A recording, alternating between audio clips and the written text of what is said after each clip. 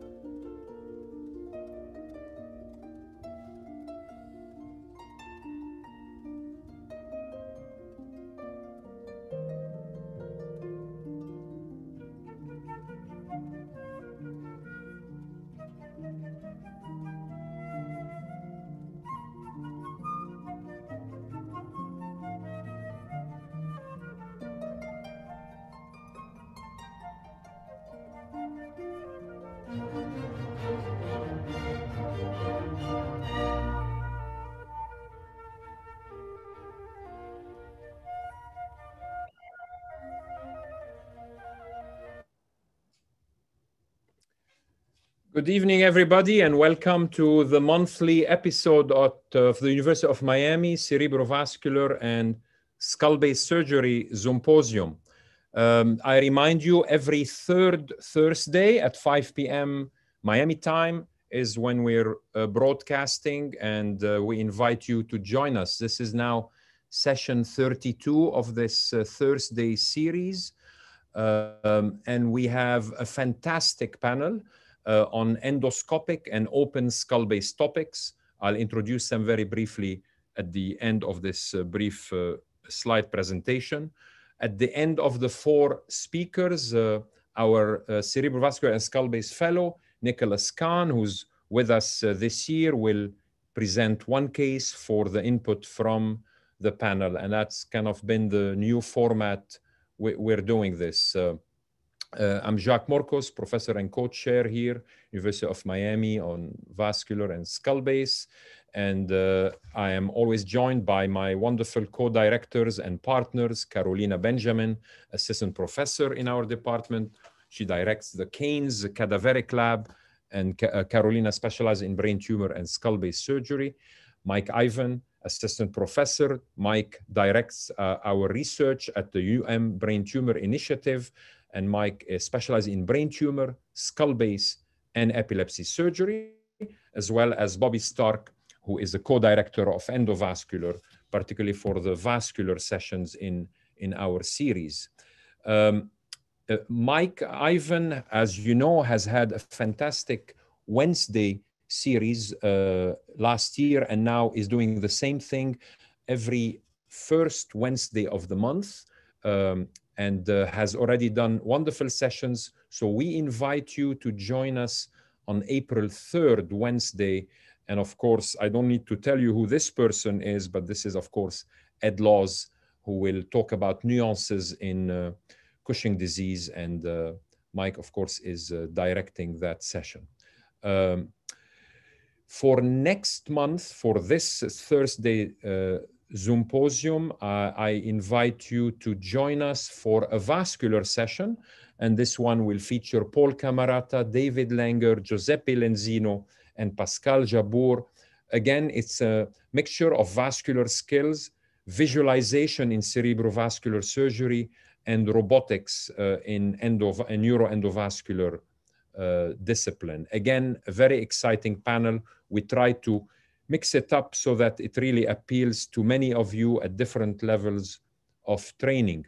And if you're interested in pediatric neurosurgery, our partners Toba Niazi and Heather McCrea co-direct a session once a month on Mondays on uh, pediatric neurosurgery as well. So you can uh, see all of those offerings on a link I'll show you in a second. But first to thank our wonderful team that makes these uh, sessions and webinars uh, possible, particularly at the bottom right, Ignacio Escalona, who is uh, running this, the technical aspects of this session.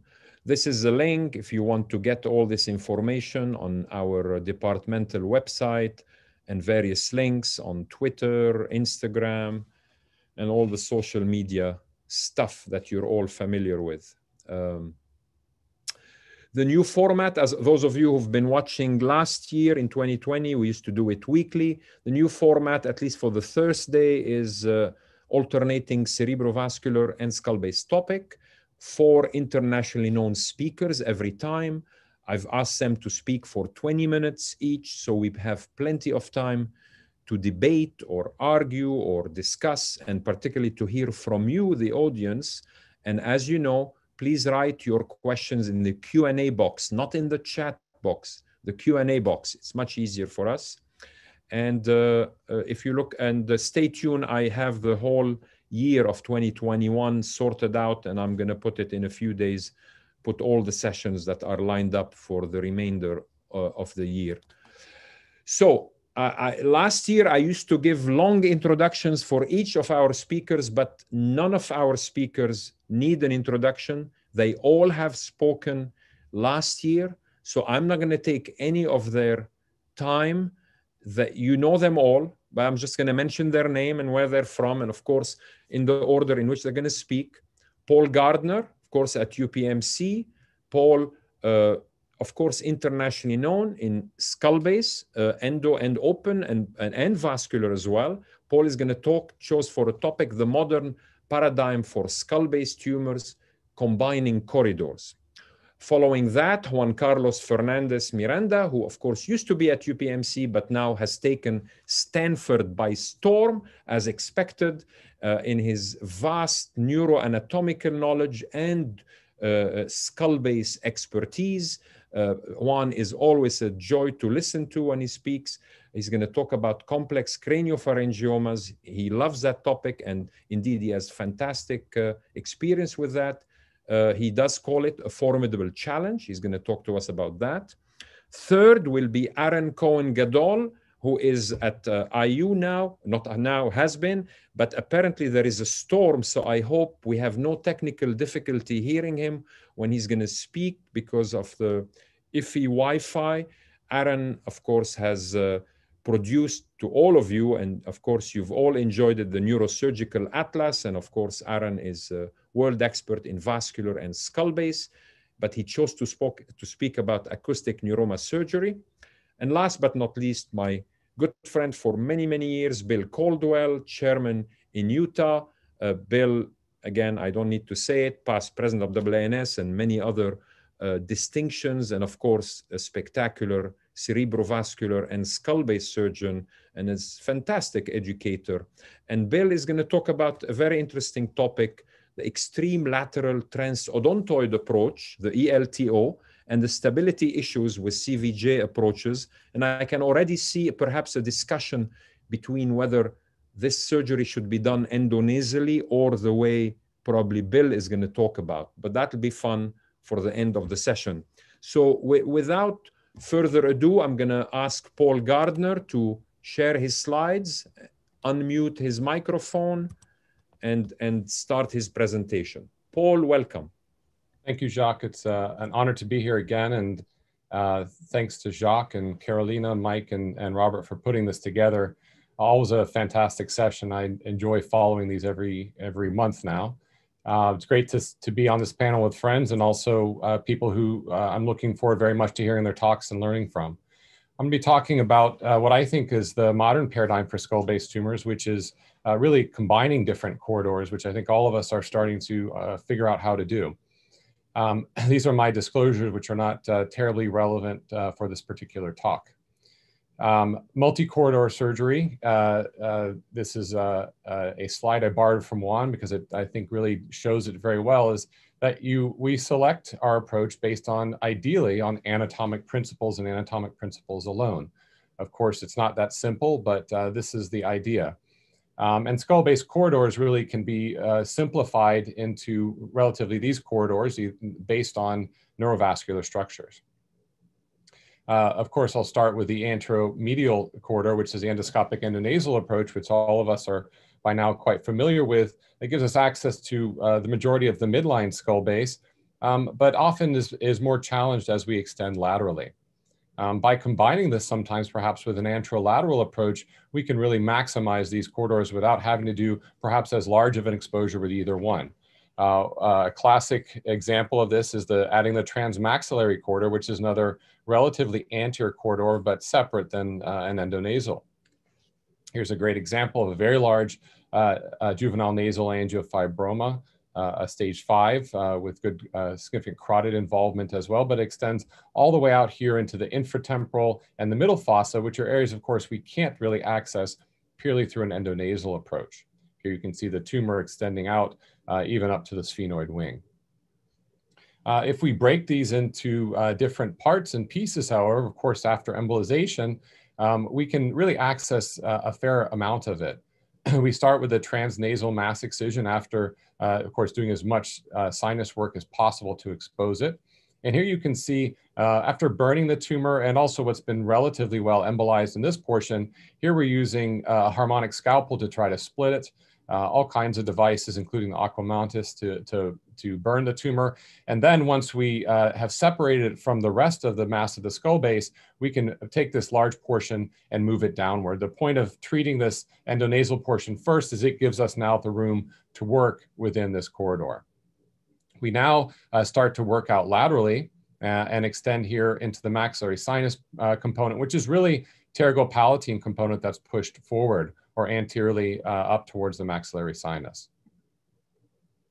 Here's, here's working on that component. I think I've frozen this for a moment.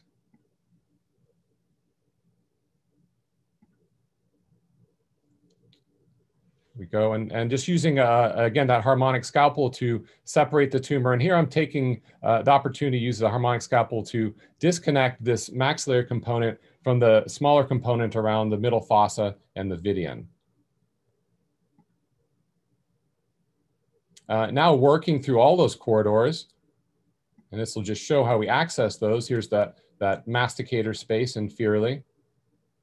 Remember, there's that one large component down to the masticator space. Again, this is using the transmaxillary corridor. We can really peel up this masticator space. You can start to see buccal fat come into view here. Uh, I'll place just patties there to hold the buccal fat back and to help it elevate. It's very important here to dissect deep to the pterygopalatine. You can see some of the nerve fibers from the pterygopalatine space. It's virtually impossible with a tumor this size to preserve the descending palatine branch, but most of these, uh, of these other branches, including branches of V3, can be completely preserved with this approach. And here you can see we're purely transmaxillary, extending down into that masticator space and peeling this, uh, this nodule of tumor upward. Uh, the nice thing about uh, JNAs is even though they can be very bloody, if you get into the right plane around them, they really deliver themselves very nicely uh, from these areas where they lobulate into. So now again, uh, transmaxillary, working through that inferior orbital fissure dissection, uh, we can extend out here into the middle fossa, video is not cooperating very well. But here we can see uh, V2 uh, coming up from infraorbital, and we can see how the tumor really goes around the infraorbital foss, inf infraorbital uh, nerve to extend into the inferior uh, foramen here. And that's extending out towards the middle fossa. If we follow it carefully, understand our anatomy and understand the relationships, here you can see how that nodule can also be delivered. So working through this combined corridor, now, we now are just left with the portion around the orbital apex and around the cavernous sinus extending back into Meckel's cave. Again, working below and around V2. There we can look out into Meckel's cave. We've just delivered that portion of tumor from Meckel's cave. And then here's carefully uh, trimming it away from branches of, of V2. And then one of the hardest parts sometimes when we do this is delivering it, and of course has to be delivered here transorally. And then finally, of course, it's very important to drill out all the base of the pterygoid. There can be lots of rests of tumor from an angiofibroma, which uh, fill the, the basisphenoid and, and the pterygoid bone. And removing all of that can ensure that we don't leave any tumor behind, even skeletonizing right up to the carotid artery. And here you can see little rests of tumor that are adherent all the way up on the vidian, all the way back to foramen lacerum. And when we're finally done, we see just normal bone. We can see the area of Meckel's cave. And in this case, because of the middle fossa involvement, we used a contralateral nasal septal flap uh, to cover uh, that entire area of Meckel's cave in case there was some weeping from the dura. Here's our post-op able to get a complete resection by combining these two corridors. Uh, not often talked about, but this combination really is uh, uh, works well uh, together excellently course, there are other anterolateral corridors, a lateral orbitotomy. We have one of the chief proponents and, and uh, uh, really one of the pioneers in that, Dr. Bill Couldwell, will be talking later about a different approach. Uh, but he and I have talked about this approach quite a bit. It's one of my favorite approaches. I do it with an oculoplastic surgeon, but simply by working through a, lateral canthotomy or an eyelid crease plus a lateral uh, incision, we can resect tumors like this here growing uh, schwannoma. I do uh, like to stimulate the frontalis branch of the facial nerve. This allows me to ensure, you know, we can take our incision relatively far laterally, allows me to ensure I'm not entering into that. There's orbicularis. So we separate the two between frontalis and orbicularis. Here's after the lateral orbitotomy. Here we can see uh, the lateral orbit. And uh, like Dr. Couldwell, I, I like to leave the orbital apex relatively intact as a retractor uh, until I'm done with most of my bone work. And here you can see uh, temporal lobe dura. And we can do a cavernous and Meckel's cave peeling the same way we would do through an open approach through this uh, access. So here's the meningo-orbital fold being cut and coagulated, and then I can dissect inferiorly. Here we're extending down and I can start to see Meckel's cave. Stimulating with a Kartush dissector, the temporal lobe has been shrunk back and I can see here we're uh, dissecting between branches of V2 can land directly onto the tumor, send some specimen, and then really do the same kind of dissection I would do through a larger open approach uh, for this corridor for this schwannoma. Here's just dissecting the tumor out that goes down towards V3. And then once I've dissected it free from the uninvolved nerve fibers, which I think is a critical step we often don't talk about, uh, we talk a lot about you know preservation of nerve fibers with acoustic neuroma, but with trigeminal, I think if you lose any uninvolved fibers, it can be equally morbid for the patient. And then finally, once we've completely resected it, here we're back at uh, the porus trigeminus and looking in with an endoscope just to ensure there's no residual. Here into the cavity, looking down towards V3 here, and then posteriorly back into the porus trigeminus. And we just use some fat to close this up. And then I let my oculoplastic surgeon, you can sometimes sew the temporalis muscle up to the periorbita for a further layer of closure. This patient did very well. And here you see immediate post-op imaging with the fat graft providing our closure. Now this can be combined, uh, for, for example, this nasal angiofibroma that goes all the way out up into the middle fossa. This made me a little more nervous to have control. And also I didn't want to have a recurrence here in the lateral sphenoid wing. So here you see after combining endonasal and transmaxillary and a lateral orbitotomy, able to get a complete resection of this tumor. Here's another uh, newer approach, which I think is very exciting. Here's a, a patient presenting with this petroclival tumor, some very mild diplopia from what's almost certainly a chondrosarcoma, extending down towards the jugular tubercle. And here's using a contralateral transmaxillary approach, which is a nice approach to get us exactly parallel to the petrous carotid. Here you can see the transnasal trajectory and in that figure, and then there's the, the contralateral transmaxillary trajectory. I won't belabor some of the earlier portions of the uh, procedure, but of course we do a nasal septal flap, which we usually do on the same side as the CTM. Here we can see the carotid. There's the uh, uh, pituitary in place. There's the contralateral carotid in the cavernous sinus. I'm doing a bit of a pituitary transposition to gain uh, access to this uh, entire tumor, which goes up towards the, uh, up towards the cavernous sinus. Here's our, here's our final post-op. Uh, you can see reaching all the way out to the jugular tubercle there with, for complete resection. So CTM is a very nice option here. Here's an even larger tumor. Um, this is a young man who presented with multiple cranial neuropathies, and he actually had occlusion of his carotid, but you can see the extension of the tumor really quite laterally. Now, in this case, we didn't use, because it extended so much out even towards the cochlea, an ipsilateral transmaxillary approach would really not give us that access. So here we used endonasal plus a contralateral transmaxillary approach. So it even has sphenomucosa over the midline portion of the tumor.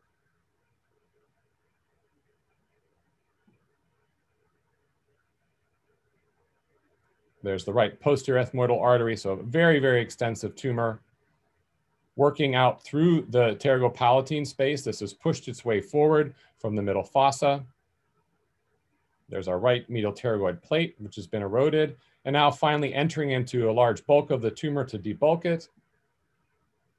And here's peeling tumor uh, off away from the medial cavernous sinus. You can see a little bit of bleeding there. Just packing it off with some surgifoam.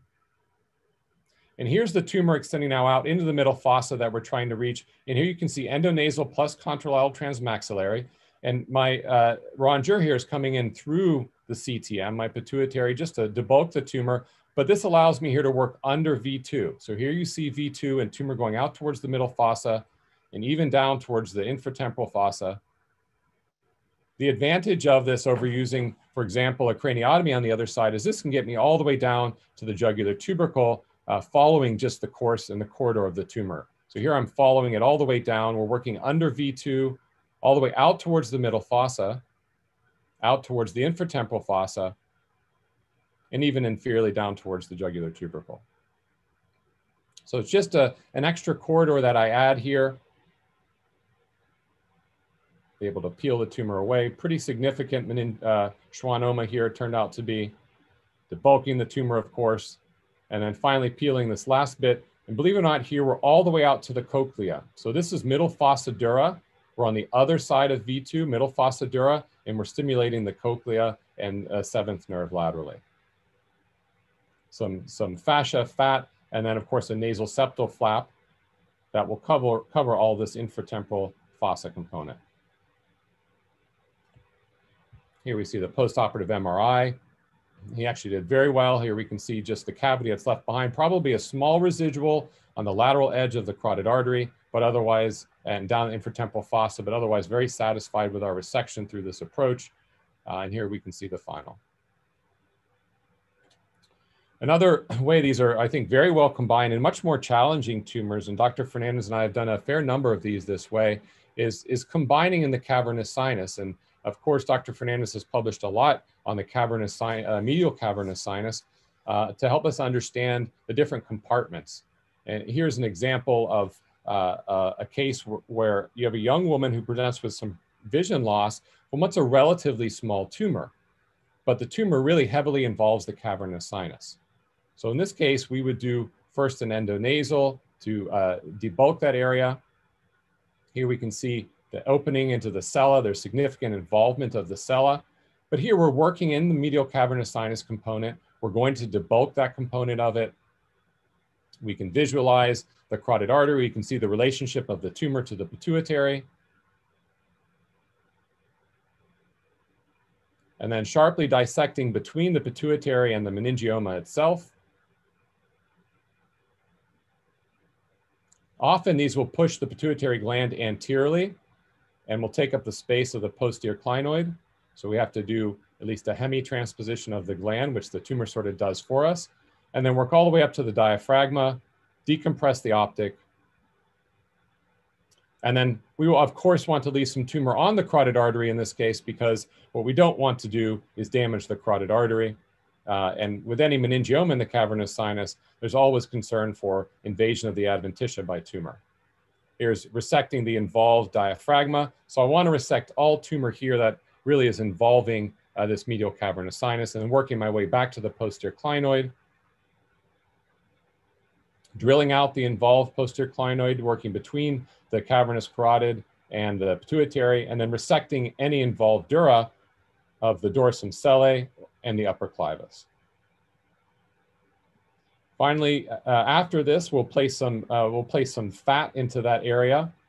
Place some fat in there to separate the gland from the cavernous sinus because we know that we're going to need to probably radiate this. And then, of course, next we would do the same kind of cavernous sinus peeling. And, and uh, I don't go into the cavernous sinus for many of these. I just try to resect the extra cavernous portion in order to uh, relieve the patient of their symptom.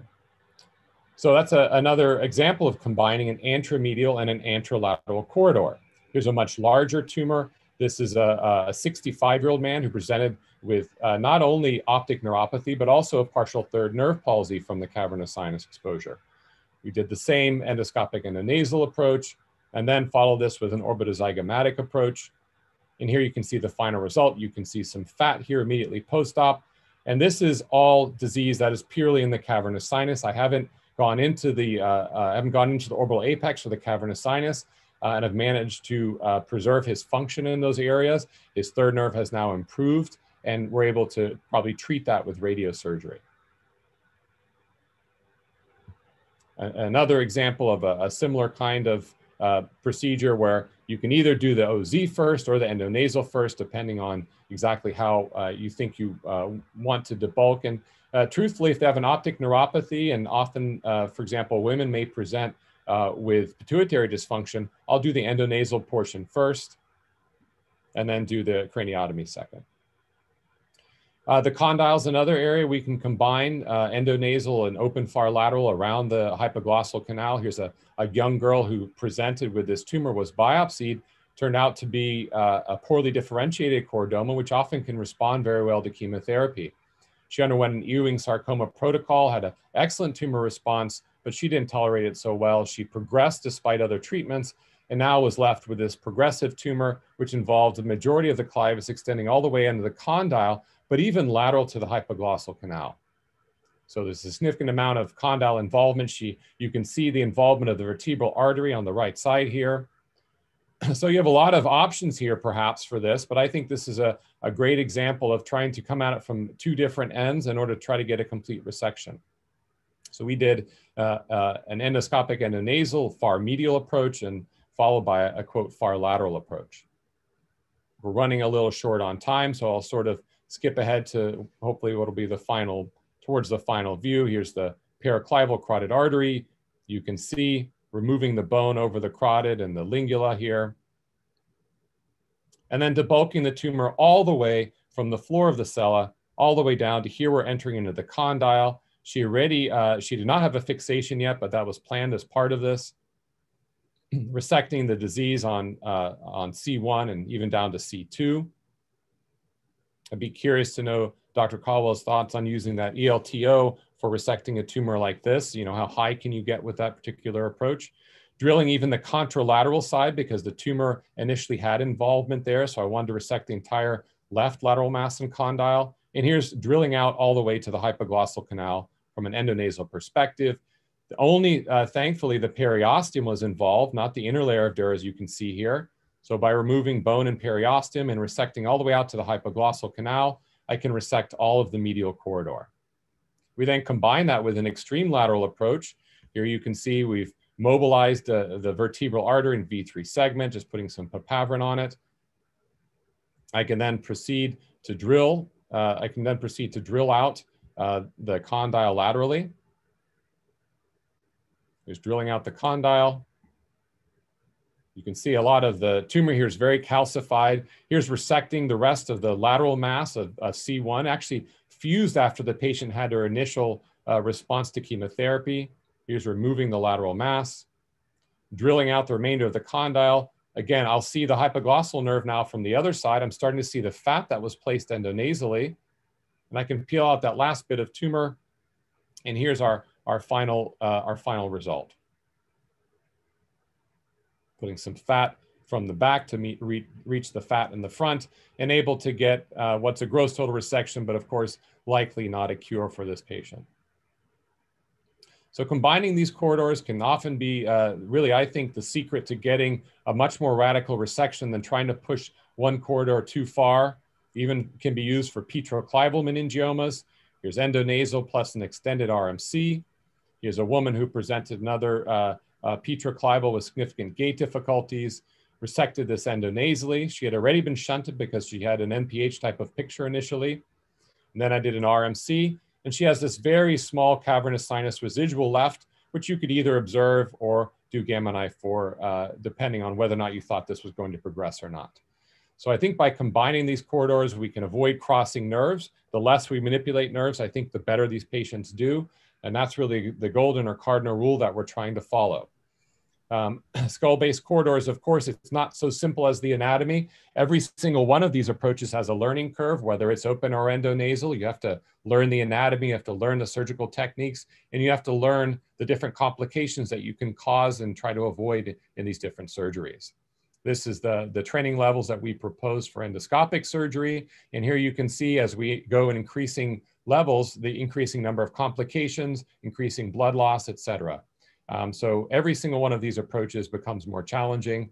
Um, so I, uh, ideally, we would approach uh, uh, surgery select approach selection based on the relationship of the tumor to the anatomy. But of course, you have to consider the relief of symptoms and maximize tumor control, and and never forget your own experience. Never uh, uh, underestimate the power impact of your own inexperience, and the patient's goals must be equally weighted to these other factors. This is just a text we have coming soon, which I'm fortunate to have, um, I think, pretty much everyone on this uh, webinar involved with. And I want to thank you for that. And, uh, and of course, invite everyone to join the Skull Base Congress, which is a, a free web, uh, web-based uh, community for skull base discussion. Thank you very much. Paul, thank you for this fantastic, of course, tour de force. As always, you've crammed a lot of very uh, good material in the 20 minutes. That's not an easy feat in itself. And we're, uh, we'll save all the questions, of course, till the end. We won't have questions after every speaker. Very good. I think you made an excellent point for using multiple corridors in some of these uh, very complex lesions. So we'll go straight to Juan. Juan, uh, if you don't mind, tell us your wisdom about craniopharyngiomas, uh, what is formidable about them and what is your current thinking about how to tackle them? Thank you.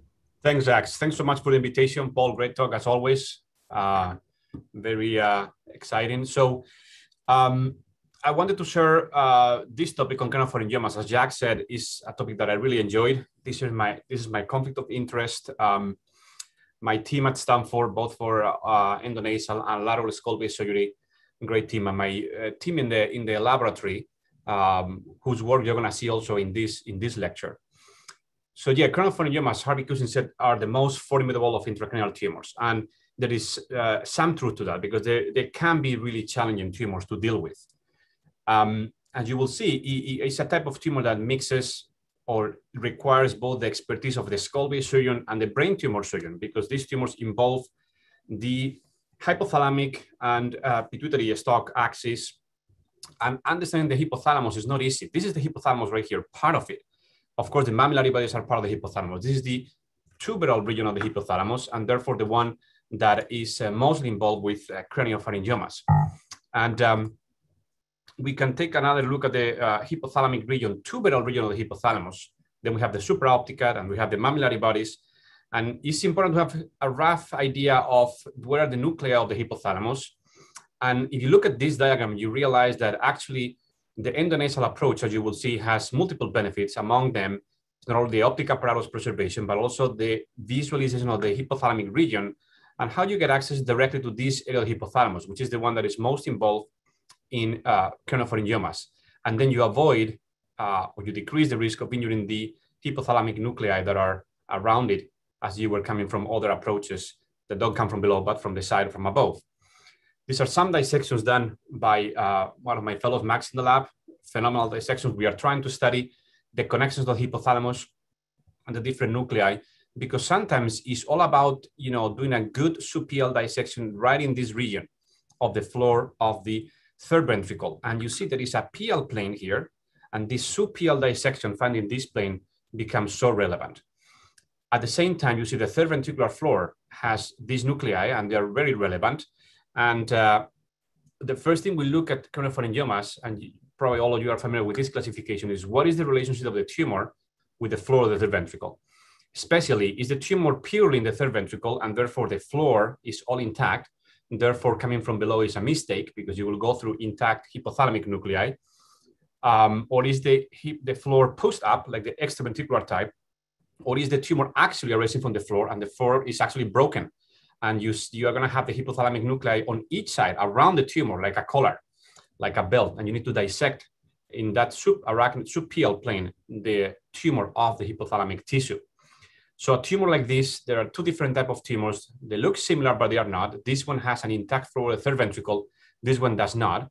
So this one is one that you, is purely intraventricular, and you want to do some sort of transventricular approach, either to the lamina or to transcallosal. For all other tumors that are not purely intraventricular, always the decision is, do I go through an endonasal approach or do I use either a transsylvian interhemispheric approach, especially for the uh, cellular suprasellar type, or do I do for the tubular infundibular type, those that arise from the floor of the third ventricle, do I do an endonasal approach or a transventricular approach? Sometimes even as Yasargil proposed in the past, you have to combine both. Uh, he proposed combining transcallosal with cisternal or transsylvian approaches for some of these very challenging uh, tumors. The beauty of the endonasal approach is by coming uh, from an inferior to superior trajectory right in the midline, you are working directly into the long axis of the tumor. You work into the infrachiasmatic space, and you have direct access to uh, the both carotids, uh, early identification of the pituitary stalk and of the uh, hypophyseal branches. The approach is actually not large because you use typically, typically the anterior limit as the limbus of the sphenoid, this dural fold right here. Um, because craniopharyngiomas grow in a superior direction towards the third ventricle floor. So there is no point on exposing the anterior skull base. You just need this space. Your working corridor is going to be between the optic apparatus and the pituitary gland. And in that core, you have the stalk and you have the hypophyseal artery, superior hypophyseal artery branches. Understanding these branches is very important because when you aim to preserve uh, the pituitary stalk function, you want to preserve these branches. Uh, on even more important, you want to preserve the vascular supply to the optic apparatus. And as we said, our corridor is between the optic nerve and between the, uh, the pituitary gland. And uh, different than coming from a process from above, where you ha often have to do some manipulation of the optic nerves. Going endonasally, there is no manipulation of the optic apparatus. You manipulate, on the other hand, the pituitary gland. You just display inferiorly to gain some, some uh, additional exposure. That is often enough. In more extreme cases, as you will see, there are very large tumors. You actually mobilize the pituitary gland, uh, which of course carries the risk of pituitary dysfunction. More so if you do an intradural transposition or you do a trans uh, cavernous or interdural. But depending on what you need, you can use one or the other. And this gives you unparalleled access to the uh, you know, basilar bifurcation area, the basal cisterns in general, but especially the interpeduncular cistern where uh, there is so much important uh, uh, anatomy. So at the end, coming endonasally allows you to access all this infrachiasmatic retroinfundibular space, localize the floor of the third ventricle, and, and perform this accurate subpial dissection technique, which is so important for complete tumor resection and for preservation of function. I'm going to quickly review my experience at Stanford with craniopharyngiomas. We did uh, 24 patients, 27 operations uh, for three, three of them already recurrent, uh, 25 endonasal, two transcranial, uh, eight pediatric, 16 adult, and you see this at the gross total resection versus near total resection. So I tend to be quite aggressive with resections, as you will see, uh, although there are exceptions. Um, and here, this is an interesting topic of discussion always. Uh, do we try to preserve the stalk? And I almost, uh, not always, but I try to preserve the stalk as much as possible. There are cases where it's absolutely impossible. Up front, I know that. But in all others, I try to preserve the stalk. And as you will see, of 12 cases that I preserve the stalk in adults, only for four had some function preserved. So even you do your best, sometimes the stalk is so thin that it's non, uh, not actually functional. Um, this surgery, especially as you will see, some of these are very complex tumors. Some of them are easier, but the complex tumors are the one that carry the complications. You see, there are. I, I have a patient with a vascular injury, a small thalamic stroke, as you will see. I have some CSF leaks, and the risk of panhypopituitarism is, is very high, especially for the complex tumors. Most patients have visual improvement.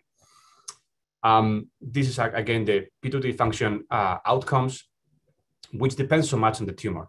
Now, for example, this is a chronic that I don't think is a complex one. It's more a, a more a uh, routine chronic Extends a bit lateral, but it's mostly cystic. Um, this patient has intact function and has visual loss. So I'm going to show you this an example of just a quick approach. You know, of course, the septal flap is always the first step. Uh, then a good exposure of the uh, um, sella and the uh, up to the uh, prechiasmatic sulcus and limbus of the sphenoid. A good dural opening. I like to open towards the limbus of the sphenoid to get a good visualization of the optic apparatus. And I like to cut the dura up to the level to the level of the distal dural ring so I can see the carotid intradurally, the supraclinoid carotid. Um, but I want to show you how important it is to preserve this little branch right here. This is um, others that are around. This is a branch of the suprahypophyseal artery, and what you see is given sun supply, especially to the infundibulum right here. And here I'm trying to preserve the pituitary function. There is a nice stalk that I actually I was able to peel the tumor from the stalk, and then but I have to work around these branches uh, carefully, and it's so easy to get distracted and involves this branch. So you need to keep concentration at all times so you don't uh, injure this.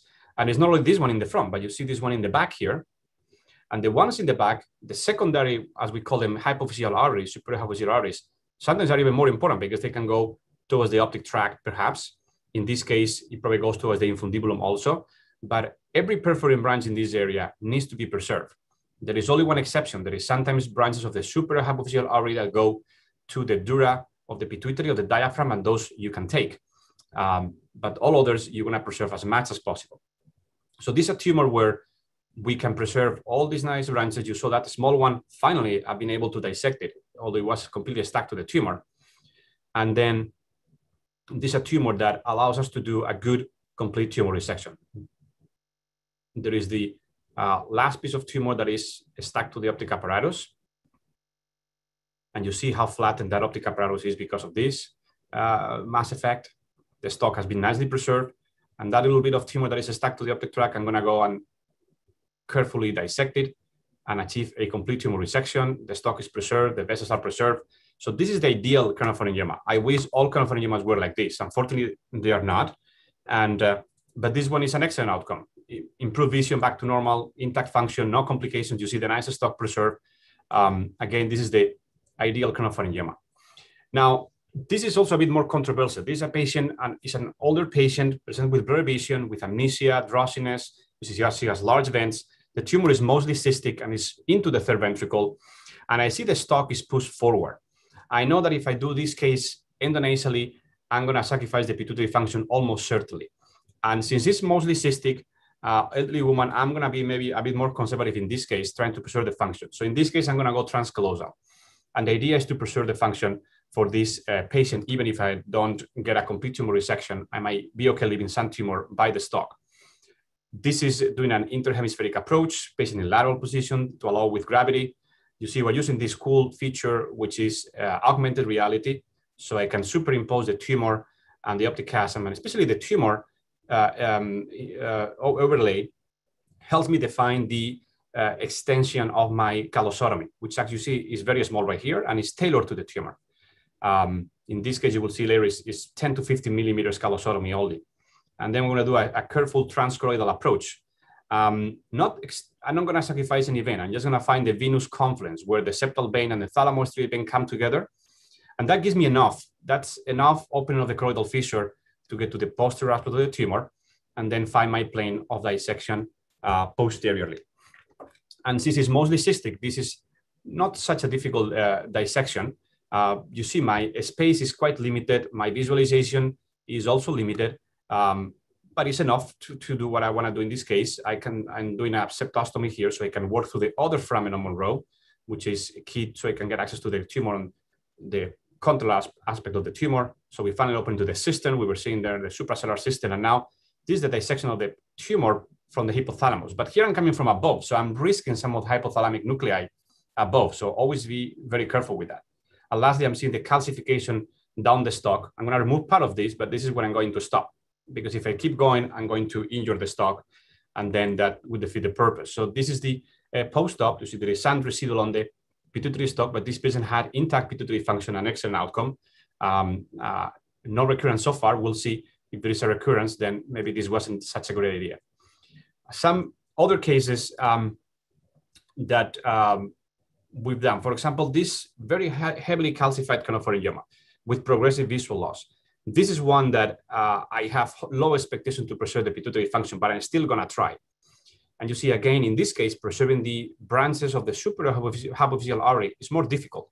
And you need to be selective on the ones you sacrifice. Some of those are cutting and coagulating are going directly to the capsule of the tumor, and those I need to take. But the remaining ones need to be preserved. You see, dissect the tumor off directly the basilar bifurcation. And in this case, there was a huge calcification that was really uh, hard, very solid, and I couldn't debulk it because it was moving and bouncing on the optic apparatus. So I had to remove it in one piece. It barely uh, fit through the uh, uh, opening and through the nails, through the nostrils. And they were going to go and do the rest. In this case, the stalk has been preserved, but it's a thin stalk and it didn't work after the operation. So preservation structurally, but non-functionally, as unfortunately happens quite often. Um, now we come into more challenging cases, and this is a patient that was found in coma at his uh, uh, uh home.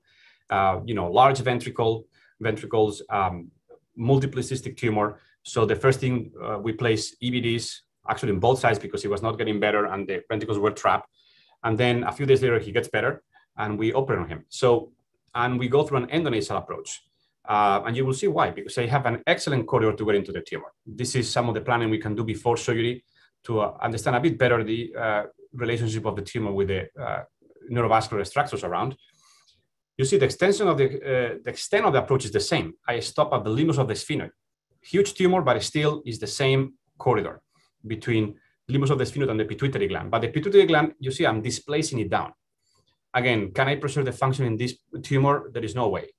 Um, perhaps I'm going to try, but I'm going to give up as I see that the stalk is completely embedded by tumor. But of course, I need to do this arachnoid dissection, preserve all the vessels around. Uh, we go into the tumor and debulk it uh, aggressively so I can start mobilizing. But again, for me, in first is about doing this cisternal arachnoidal dissection of vessels. And as you will see, as we get deeper into the third ventricle floor, right now, that is a subpial dissection technique where we have to find the plane between the hypothalamus and tumor. Uh, to me, it's very helpful to find the mammillary bodies that serve as the posterior landmark and reference of the hypothalamus. Uh, and also you need to rely on the texture of the tissue and, and the appearance of the tissue and the vascularity also, and uh, carefully trimming it. And once you trim and detach, you can pull, but only after you have detached and trim it. If you pull directly, you can injure the hypothalamus. Um, uh, so you need to be uh, careful about that. So a lot of sharp dissection, cutting tumor off directly hypothalamus. You can see the EVD on the enlarged ventricle and this is at the end of our resection. You see those calcifications along the ventricular wall. Those you don't want to remove. Those you're going to keep. And something that is interesting, you see the enhancement post-op. Um, but this is immediately post-op. This is later post-op. You see how the enhancement has, at three months, has decreased. And this is something we I've seen many times. So uh, seeing some enhancement immediately post-op doesn't mean that's residual tumor. Um, and often it gets better uh, and further MRIs. Um, and this is the patient with an excellent outcome, no pituitary function and full replacement, but back to work, back to normal life. Even a larger, more complex tumor, because this one is, you know, extending retrosellar, retroclival also, and even laterally. So this patient had, is one of the first I did here at Stanford. They had placed an Ommaya, but it was obstructed. Uh, they did a biopsy. It, it, was really considered a, you know, very difficult tumor to operate. And um, he was progressively losing vision, calcified, uh, partially calcified, but probably microcalcification. So uh, in this case, I'm going to try to preserve the pituitary function. So I'm mobilizing the pituitary gland. That's a full mobilization intradural and extending this with a transclival approach. So it's a suprasellar to transclival approach with the pituitary gland being mobilized. Third nerve on one side being uh, dissected. Again, this is the subpial plane at the level of the floor, of the third ventricle, uh, putting a cottonoid to protect that plane. And uh, uh, that's the cyst that goes towards the uncus and above the third nerve. And what you see up there is the uncus. And then this is trimming again sharply the tumor uh, that is in the uh, extending to the hypothalamic region. And uh, in this case, I preserved the pituitary gland and the stalk was mobilized. Uh, that's the interface with the hypothalamus. That's when I, where I stopped. And uh, but this patient did not have pituitary function either. Even if I tried my best, it, was it was not functioning. But you see the whole dissection of the basilar bifurcation, and uh, what I believe is a complete tumor resection. That's what the MRI showed. And this patient is more than two years since this operation with with uh, uh, no recurrence and uh, excellent outcome, of course, in full replacement. Um, similar with this one. In this one, I directly could not save the stalk. So in this case, I actually even took the pituitary gland out because there was no way I could save it. I get more space. I can do a full transclival and do an excellent resection. What I'm really worried in a case like this, you see that hypothalamus is trapped right here. You see how it looks, it looks, how good it looks post-op. You need to be so careful with this uh, plane of dissection up here. And finally, I want to show you what I call inoperable craniopharyngioma. Some of those that I've done um, here at Stanford that you know were truly challenging. For example, first this first case here, seven previous operations, uh, radiation twice. This one, five operations, radiation three times, and now offer chemotherapy. This one, three operations, radiation times two, 32 cyst aspirations. Um, this one, a two-year-old with a giant craniopharyngioma. So um, this is one that again, it's a very challenging uh, case. 52 year old. Excuse me. This is again, as I said, you know, two craniotomies, endonasal, IMRT, uh, Temodar, Ommaya, uh, 32 aspirations to the point that the, there is uh, persistent and progressive visual loss. So, um, but this is a tumor we can actually remove completely. This is, you need to do an uh, aggressive exposure, aggressive resection, and I'm gonna go all the way to the end. Um, and uh, you see the optic apparatus doesn't look very good. Uh, that's the remaining of the resection, cut the stalk right at the uh, tuberal part of the hypothalamus. And this is the post-op. Um, there is no stalk preserved. The stalk is gone. So he has now the eye he didn't have before. But now this is a complete resection. I'm really hopeful that this patient will remain uh, with no recurrence uh, for the uh, following years. He never had a resection that was this complete. It was, he always had significant amount of tumor left on all of previous operations. Um, this other case, for example, this was the, the one, the only patient had a stroke post-op. This one had a thalamic stroke. Fortunately, it did not uh, impact him much. Just transient mild hemiparesis, he recovered from that. Um, this patient got a uh, seven previous operations, radiation. I got a not complete resection. I had to leave tumor encasing both carotid arteries in the supraclinoid space. And this patient had a recurrence, uh, and I didn't operate again. I just replaced him on because he's just too invasive and he's a patient that is not a good surgical candidate anymore, I believe. But at least two years of you know better quality of life with surgery. This one also was a very unique case because this um, was a tumor operated five times before, all through transsphenoidal macroscopic approaches, not endonasal but microscopic, and residual tumor in the cavernous sinus kept enlarging.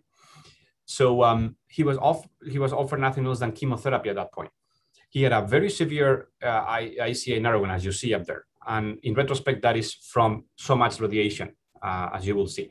So I went first endonasal in this case. And this is what remains of the pituitary. He actually still has pituitary function. And we were able to keep, keep it uh, intact.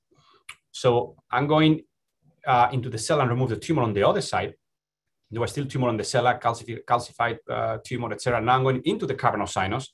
This patient has a complete nerve palsy. So he has a a close eye.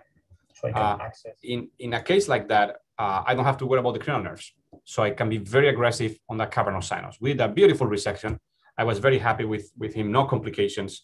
Um, he did very well. And he was two years with no recurrence, but recently he had a recurrence in the paraclinoid and supraclinoid space. And he was, uh, it was growing, as you will see, off the roof of the cavernous sinus. His ICA was, was uh, stenotic from narrowed from radiation. So this is his uh, vascular study. So we did an STA-MCA bypass with uh, Dr. Steinberg, and then we did the radical resection at the same time. I performed a cavernous sinus exenteration with carotid uh, sacrifice.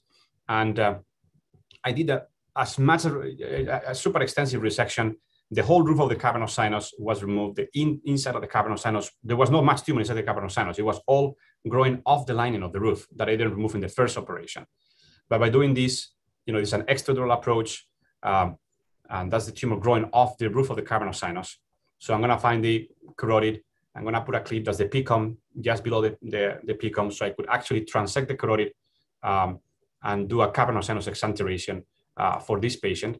And uh, this is the post-op. The patient had a CS leak post-op that I had to repair through an endonasal approach, but he had no new deficits. And I'm again hopeful that he will remain with no recurrence because this is as aggressive as I can get uh, trying to cure this disease that is sometimes so rebel and so difficult to deal with. And I will finish with this case uh, because this is the story of a two-year-old kid.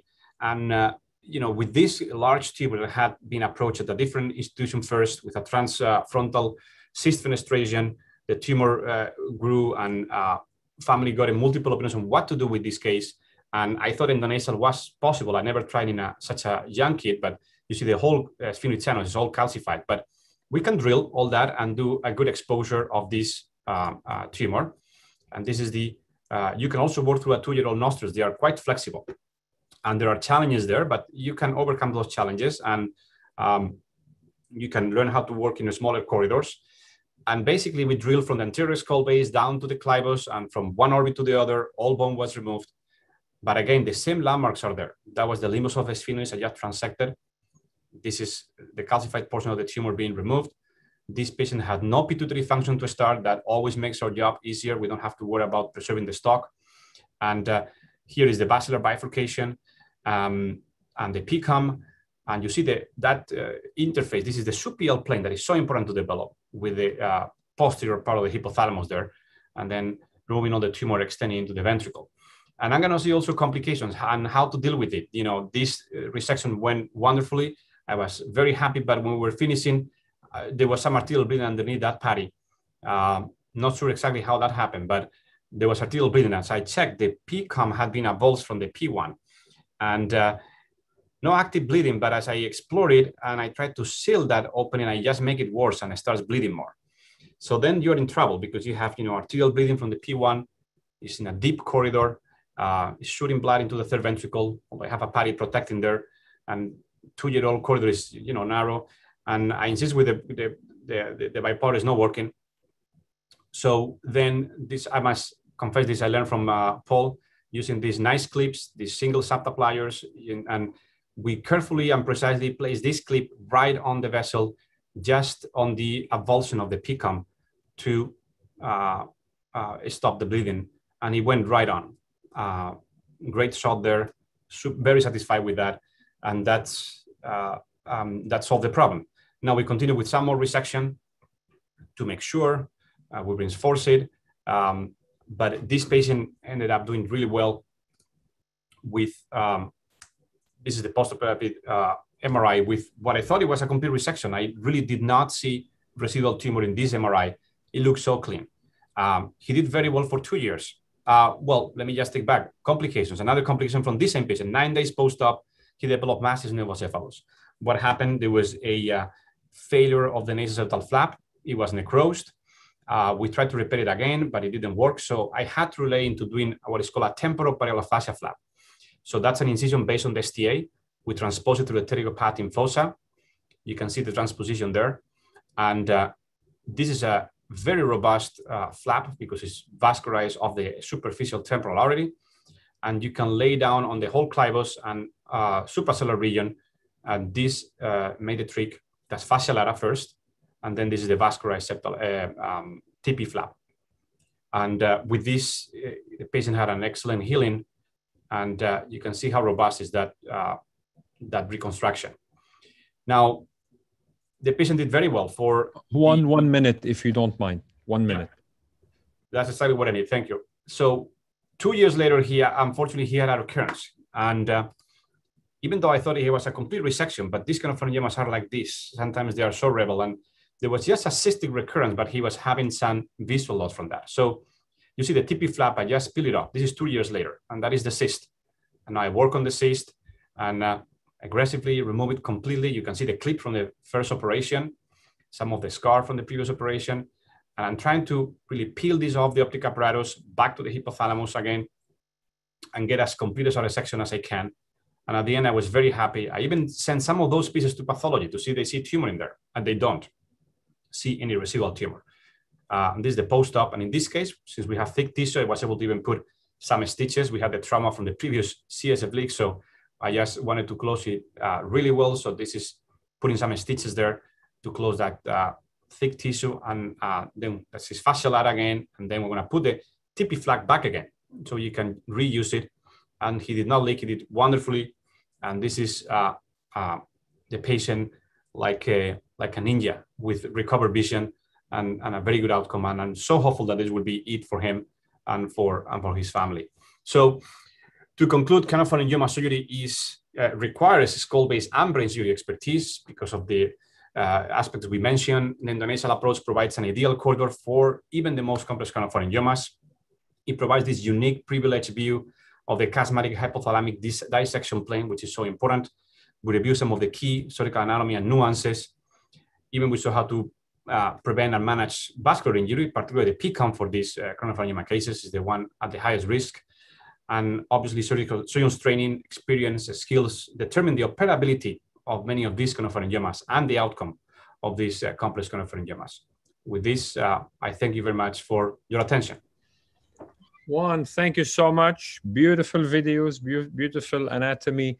Those uh, dissections that your fellow is doing are unbelievable. This is, uh, I'm, I'm, I'm going to upset many of our Rhoton, Rhoton friends in Rhoton society, but this is, this is unbelievable. I'm not going to say more. That, I'm, I'm not going to say what I was going to say, but this is really spectacular. It is a spectacular. Like we call him Max Da Vinci. That's his, uh, you know, wow.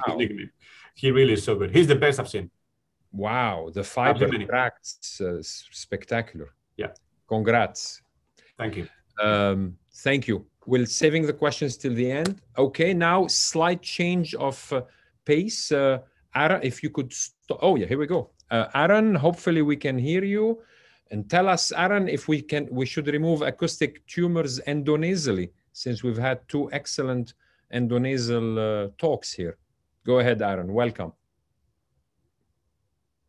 Are you speaking, Aaron? Are you muted? We can't hear you.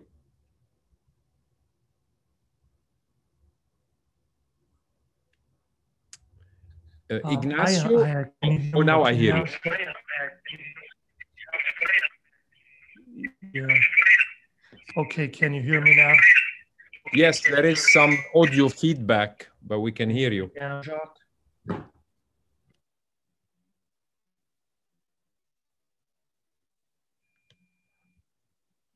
Jacques, can you hear me? Yeah, yes, Aaron. Now I hear you. Yes, Aaron, now I hear you. Uh, is the quality of the audio okay, Jacques? Yes, excellent. Yes, excellent. Oh, I think was, I know so what's much. going on. So sorry. I, I, think, doctor, I think you have it on speaker, so it's gonna be repeating itself. We're gonna be hearing the echo every time you speak. It's like a second delay. So if you have a speaker, just turn off the speaker because we can hear it. You're gonna be hearing yourself talk. Oh, he went away.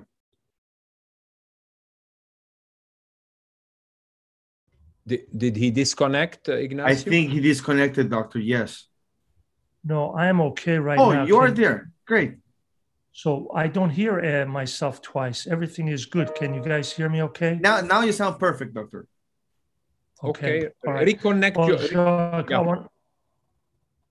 Go ahead. Um, so I want to thank Jacques for spectacular sessions. Really, this has been an amazing offering uh, and it's made such a big difference in this time of virtual education. So Jacques, I want to really congratulate you in an incredible pioneer status you have had in advancing virtual neurosurgical education. Um, you're still hearing me okay, Jacques? Yes, yes, perfect. So um, I um, was asked to talk about something for a skull base, and for me, acoustic tumors are still considered complex skull base surgery. Definitely not endonasal, but definitely are such challenging tumors. As you know, acoustic tumors can be difficult or be very difficult. And today I want to discuss what is um, really the case for resection of these tumors. These are some basic standards that we all know. You know, 80% of CP angle tumors, and um, there's about, you know, 2,300 or so cases a year. Uh, what are the patients selected for surgery? Tumors with mass effect, cystic tumors, um, cystic tumors, tumors causing hydrocephalus, when the diagnosis is doubt, and obviously patient preference. This is a tumor where none of us will question surgery is the way to go. It's a large tumor, a lot of edema and mass effect, and surgery is the way. Also, 61 with a recurrent left acoustic neuroma presenting with a new gait dysfunction and seventh nerve uh, weakness is obviously another good um, case, especially when it's cystic um, for surgical resection. This is another case, 61 year old with um, a um, tumor that did very well, obviously, from the last case. And there's different staging of these tumors, as you know, in terms of what stage they are and which ones are more palatable for surgery. And obviously, stage four are the tumors that we're talking today. So this is, for example, another patient, 60-year-old woman with uh, hearing issues, complete seven nerve palsy, and there was a question about what is the pathology in this case. And if there is a question about the pathology, obviously surgery is still the best way to go. And in this case, it was noted to be an icoaneurysm even though it was initially thought potentially to be an acoustic neuroma. So if there is a question about the pathology, again, surgery is the best approach for uh, determining diagnosis and proceeding with um, uh, obviously managing the lesion. This is some of the more controversial tumors. 50-year-old male with moderate hearing loss, small tumor, would you remove in order to save the hearing through surgery rather than wait or do um, uh, which would potentially lead to complete hearing loss or radiosurgery. There's a high risk of um, hearing loss as well. The question is, what is really in the hands of an individual surgeon, the rate of hearing preservation in these cases with a small acoustic with moderate hearing loss? And that's something that still the um, jury is out on that. You still can hear me okay, Jacques? Uh, yes, Aaron, we're hearing you very well. Luckily, it's going well. Thank you. And so, what are the surgical approaches? I think we talk about retrosigmoid, translab middle fossa, and obviously there are extended middle fossa, posterior petrosectomy, presigmoid, retrolab, transcochlear. I think as neurosurgeons, we're really in favor of a retrosigmoid approach, and I'll go through the um, reasons behind that obviously, what are the uh, uh, patient selection criteria? Hearing status, tumor size, relationship to the IAC and the fundus, and the relevant adjacent anatomy, including including the jugular bulb. And obviously, sometimes convenience and scheduling with our ENT colleagues can make a, a significant difference. Why is the retrosigmoid approach so good and adaptable? There's no tumor size limitations the uh, hearing preservation is possible. Really, the panoramic view of posterior fossa is so good. It is much more efficient because it won't take hours of a translab drilling. There's no abdominal fat required. And it's really, truly the best posterior approach. Efficiency and the flexibility of approach is so remarkable that is absolutely most favorite approach for any size tumor. Obviously, this is a very giant acoustic uh, patient of mine who was pregnant 24 um, weeks um, pregnant and came in with facial weakness, significant ataxia, grew significantly during pregnancy. And we went ahead and did the shunting. She had hydrocephalus and then resected a tumor about a month later after she uh, delivered her healthy, her uh, healthy son. So, what are the disadvantages of retrosigmoid approach? Can be difficult to access the latter one third of the IAC without violating the labyrinth. There could be potential high rate of postoperative headaches, although cranioplasty may limit that significantly.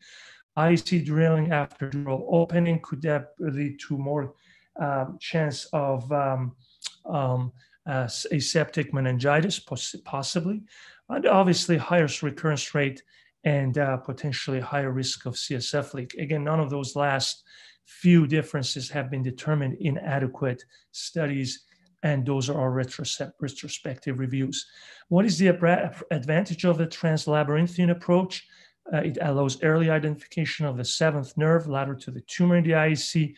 Bone removal is completed prior to opening the dura, lower incidence of postoperative headaches. And there's, again, retrospective view about lower chance of recurrence. Translab approach, it's definitely a longer operation. By the time you get into dural, it's almost noon. And uh, obviously, closure is more lengthy as well large abdominal fat graft, significant limitation superior inferior exposure, unfamiliar angle of use for the neurosurgeon, no opportunity for serving, uh, saving hearing, and high rate of CSF leak. Middle fossa approach, best approach uh, for uh, hearing preservation. Bone removal is again prior to opening the dura. Lower incidence of postoperative headaches, and definitely the lowest incidence of CSF leaks. What are the disadvantages? tumor size limitations. Obviously, the tumor has to be small. Uh, because of the angle of the view, uh, the facial nerve can be on your way and potentially at more risk. And limited access to the posterior fossa, small fat graft often is required, and certainly temporal retraction can be a limitation in this case. But again, for a 17 year old male with four months of imbalance, a small tumor, and uh, some uh, serviceable healing, I think a middle fossa approach can be a very nice um, offering. These are the anatomy. It's by Dr. Rhoton. All of us know about the approach to the IAC and the um, location of the nerves in comparison to each other. I want to just briefly review uh, one of my surgical videos that shows the technique through the middle fossa approach. I, in fact, used the old Dandy incision. Uh, believe it or not, I went back about 100, 110 years and I use the curved incision by Dandy and it works beautifully. I do not use the linear incision, which I know all of you guys use most likely. The reason I use this incision is that my cutaneous flap inferiorly, it decreases the working distance to the uh, target within the CP angle. In addition, um, I've never had a CSF leak through the incision using this because just like our shunts, the incision is not directly over over the um, craniotomy, but in fact around it. And um, um, the muscle dissection is significantly less, and therefore uh, potentially it can preserve or actually minimize the risk of postoperative pain. Obviously, I use the lateral position because it keeps the neck in the most physiological position. And that's important because I think, especially for patients who uh, have a high BMI, putting them supine and really cranking on the neck can cause intractable postoperative headaches. So this incision has really worked well for me. I highly recommend at least trying it. And if you don't like it, obviously you can always switch back to what you used to do. I do um, perform a lumbar puncture at the beginning if there's no obstructive hydrocephalus because that really relaxes the dura. The uh, craniotomy is much more efficient. The venous sinuses can be easily dissected away from the craniotomy, and just the opening can be done within 15 to 20 minutes. And um, within about 20 minutes, I'm at the tumor because all the intracranial tension is released via the um, lumbar puncture. So it really does help, and it takes only a few minutes. So uh, again, the lateral position is my most favorite anytime I can keep the body in the most physiologic posture is my preference. The exposure is very standard. As you can see, Singer-Burr hole. I open the dura along the venous sinuses. Again, that's different than most people do. And the reason I do that is because I like the dura to cover the cerebellum, protect it. And most importantly, I like the dura not to be within the intense of the microscope because it shrinks the dura and it's difficult to close it. Most of the time, even after an acoustic, I can easily close the dura primarily without using graft because, uh, again, the dura is protected under a Telfa or a cottonoid patty over the cerebellum. So this is a nice way to open the dura and uh, protect it against the light of the microscope. So you can see the cerebellar retractor that is holding the myocutaneous flap, and you can see this really very minimal depth, increase in depth by the muscles, and the myocutaneous flap is reflected inferiorly. These standards um, techniques, obviously, we all know using the uh, stimulator. Uh, there is very efficient ways to remove the cerebellum. One of the things that I have uh, come to like, which again, it sounds a little bit sort of um, maybe archaic, but it really works well, is if the tumor is more than three centimeters, I resect very small amount of lateral cerebellum just maybe you know half a centimeter of the width it has never caused any undue untoward side effects in my patients and it really exposes the tumor so nicely. The moment that cerebellum moves out of way the tumor completely looking at you that improves the efficiency of the procedure for me significantly rather than fighting with the cerebellum at all times. In fact um, if you don't fight the cerebellum because you move the small lateral ribbon of it, you're ret- I don't use retractors and most of the time. In addition, you are not pushing on the cerebellum to cause venous congestion. In also, you're not pushing on the cerebellum to tear the tentorial bridging veins, which often can tear, can lead to a lot of annoying bleeding. And so removing that just tiny ribbon of cerebellum has been a huge um, pearl for me to be able to get that tumor so obviously um, in front of me. The number one rule is expose the tumor very widely, and that allows you to debulk the tumor so extremely aggressively. And the moment you do that, dissection of the capsule is a breeze. Those three pearls have really decreased the operative time for me from eight hours for a giant tumor to literally two and a half hours because I feel so much in control of the tumor and the exposure is so magnificent that I can debulk it so aggressively that I'm most of the time just dealing with a thin capsule. And it's all sort of using those two-handed dissection that Madjid Samii talks about. You hold the capsule, you use the fine forceps and drag the arachnoid and pull the uh, pull the brain stem pia and the cranial nerves away from the capsule. And all of that is only possible your capsule is very, very thin. So uh, I use that dissection technique as I showed before of getting the arachnoid and just moving the nerves away. I never touch the nerves. That's the new rule one for a sitting position that's so advantageous that's because of the fact that the sitting position lets the fluid and the blood run away. You don't spend time bipolaring, injuring, and you can use the bimanual dissection technique, again, tumor forceps and fine forceps to be able to dissect the structures very efficiently. And uh, uh, we are coming up shortly with uh, a set of um, just to give you guys um, some sort of news about these new cottonoids that I have created um, um, that have a suction within them, and you can actually leave the suction within the uh, within the operative field, and they uh, they uh, use as like a suction for you, and it makes such a big difference because it's like doing the patient in a supine or a lateral position, but the use of the cotton patties to can um, uh, make you like having the patient in a sitting position. So um, the section in the left lower corner of the cranial nerves, this is a right-sided tumor. And on, on the right, you can see the fifth cranial nerve being dissected. And then the clinical aspect of tumor dissection, again, rolling the tumor laterally from medial to lateral and be able to find the seventh cranial nerve generous exposure via slight ribbon dissection, uh, removal of the cerebellum, allowing tumor because I have so control over the majority of the bulk and the girth of the tumor. Um, the third um, advantage is I find the facial nerve very early on. I follow the ninth nerve, and when you find the ninth nerve joining the brain stem, That is where the seventh cranial nerve exit zone is. It's always constant. That is the fastest way for anyone to find the facial nerve.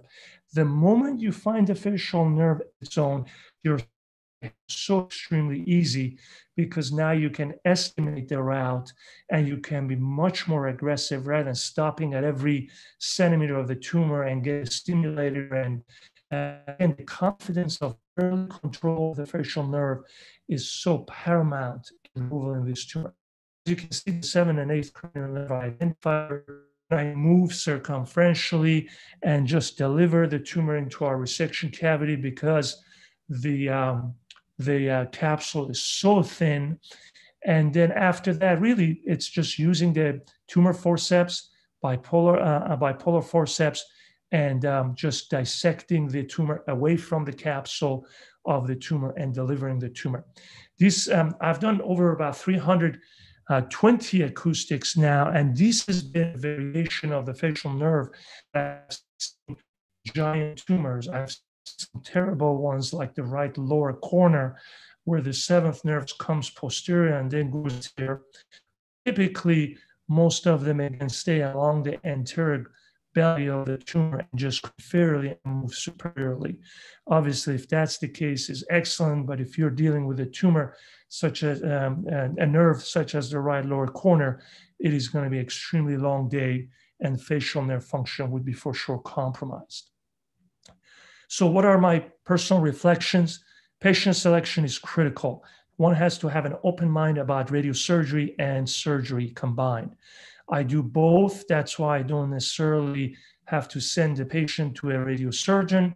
And as a surgeon, we should offer endoscopic, open radiosurgery all combined together, because in that case, it's the pathology that, that determines the uh, best approach rather than a surgeon's expertise determining what is the best approach for the patient. Um, as I've always said, I review my surgical videos very, very meticulously and religiously. That has been the um, um, the product has been the neurosurgical atlas.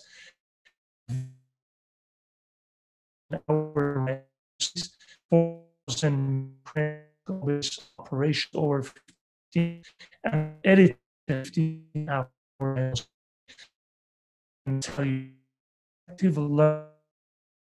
absolutely immense in causing very aesthetic, choreographically well planned surgical movements. And you can always, always do better in every surgery compared to the last one. I look at the surgery like playing a piano, and there's no way to pra- um, sort of practice your performance for your final uh, performance. Uh, you do your practice um, in the lab, you do practice early on in your career, watching your videos, listening to your colleagues, and then you do continue and you surgery short, you make your more, and you turn your surgery into ballet. It's not a dance, it's about you'll know um, ballet versus your break dance easily. Cerebellar retraction, it really can lead to terrible results. Debulk the tumor aggressively, find the seventh nerve early, handle the nerve extremely gently, uh, extremely relevant as possible. Obviously,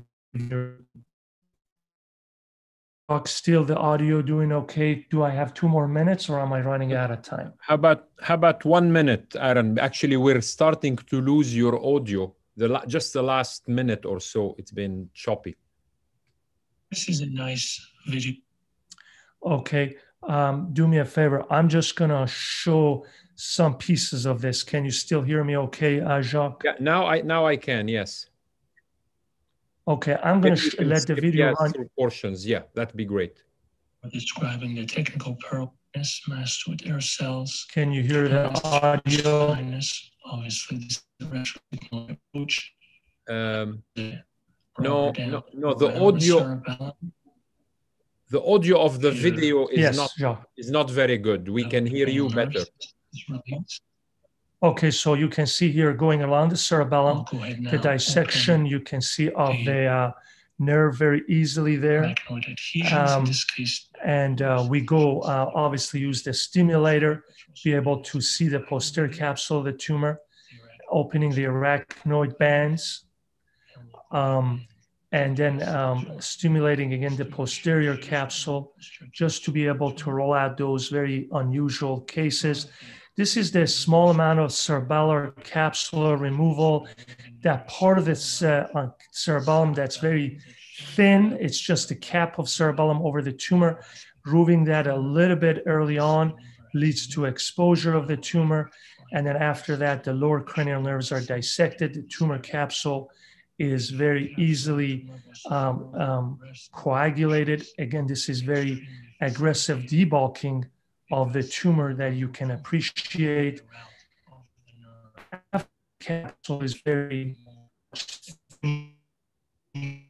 our cranial nerves are protected. We move uh, again using that dissection technique I talked about, using the bipolar forceps. This is the fifth nerve being dissected from the lower pole of the tumor. Again, grabbing the arachnoid and pial membranes and just moving the nerve away or the brain stem. That's the root entry zone of the um, of the um, fifth nerve. You see, it's very efficient. It's relatively atraumatic and really moves things forward using Merocel patties that are very non-stick to protect the nerves. And then as you can see, you can deliver the capsule from medial to lateral. It's very thinned out. It's very efficient to get big bulk of the tumor into your resection cavity. And this is absolutely a critical part of the operation to get this tumor out effectively. And again, the same methodologies going forward, finding the seventh nerve here, you can see at the brainstem covered by vessels. I'm not going to go through that. Debulking the tumor further, finding into the IAC, and be able to move on both sides within the IC, as you can see here, with this flat knife and then using sharp dissector. Again, that's the nerve right here at the tip of the arrow. All of those techniques are, again, we don't touch the nerve whatsoever. You dissect the tumor away from the nerve rather than vice versa. So with that, uh, I'm going to go ahead and end and thank you for being patient with me, um, Jacques, and my technical difficulties.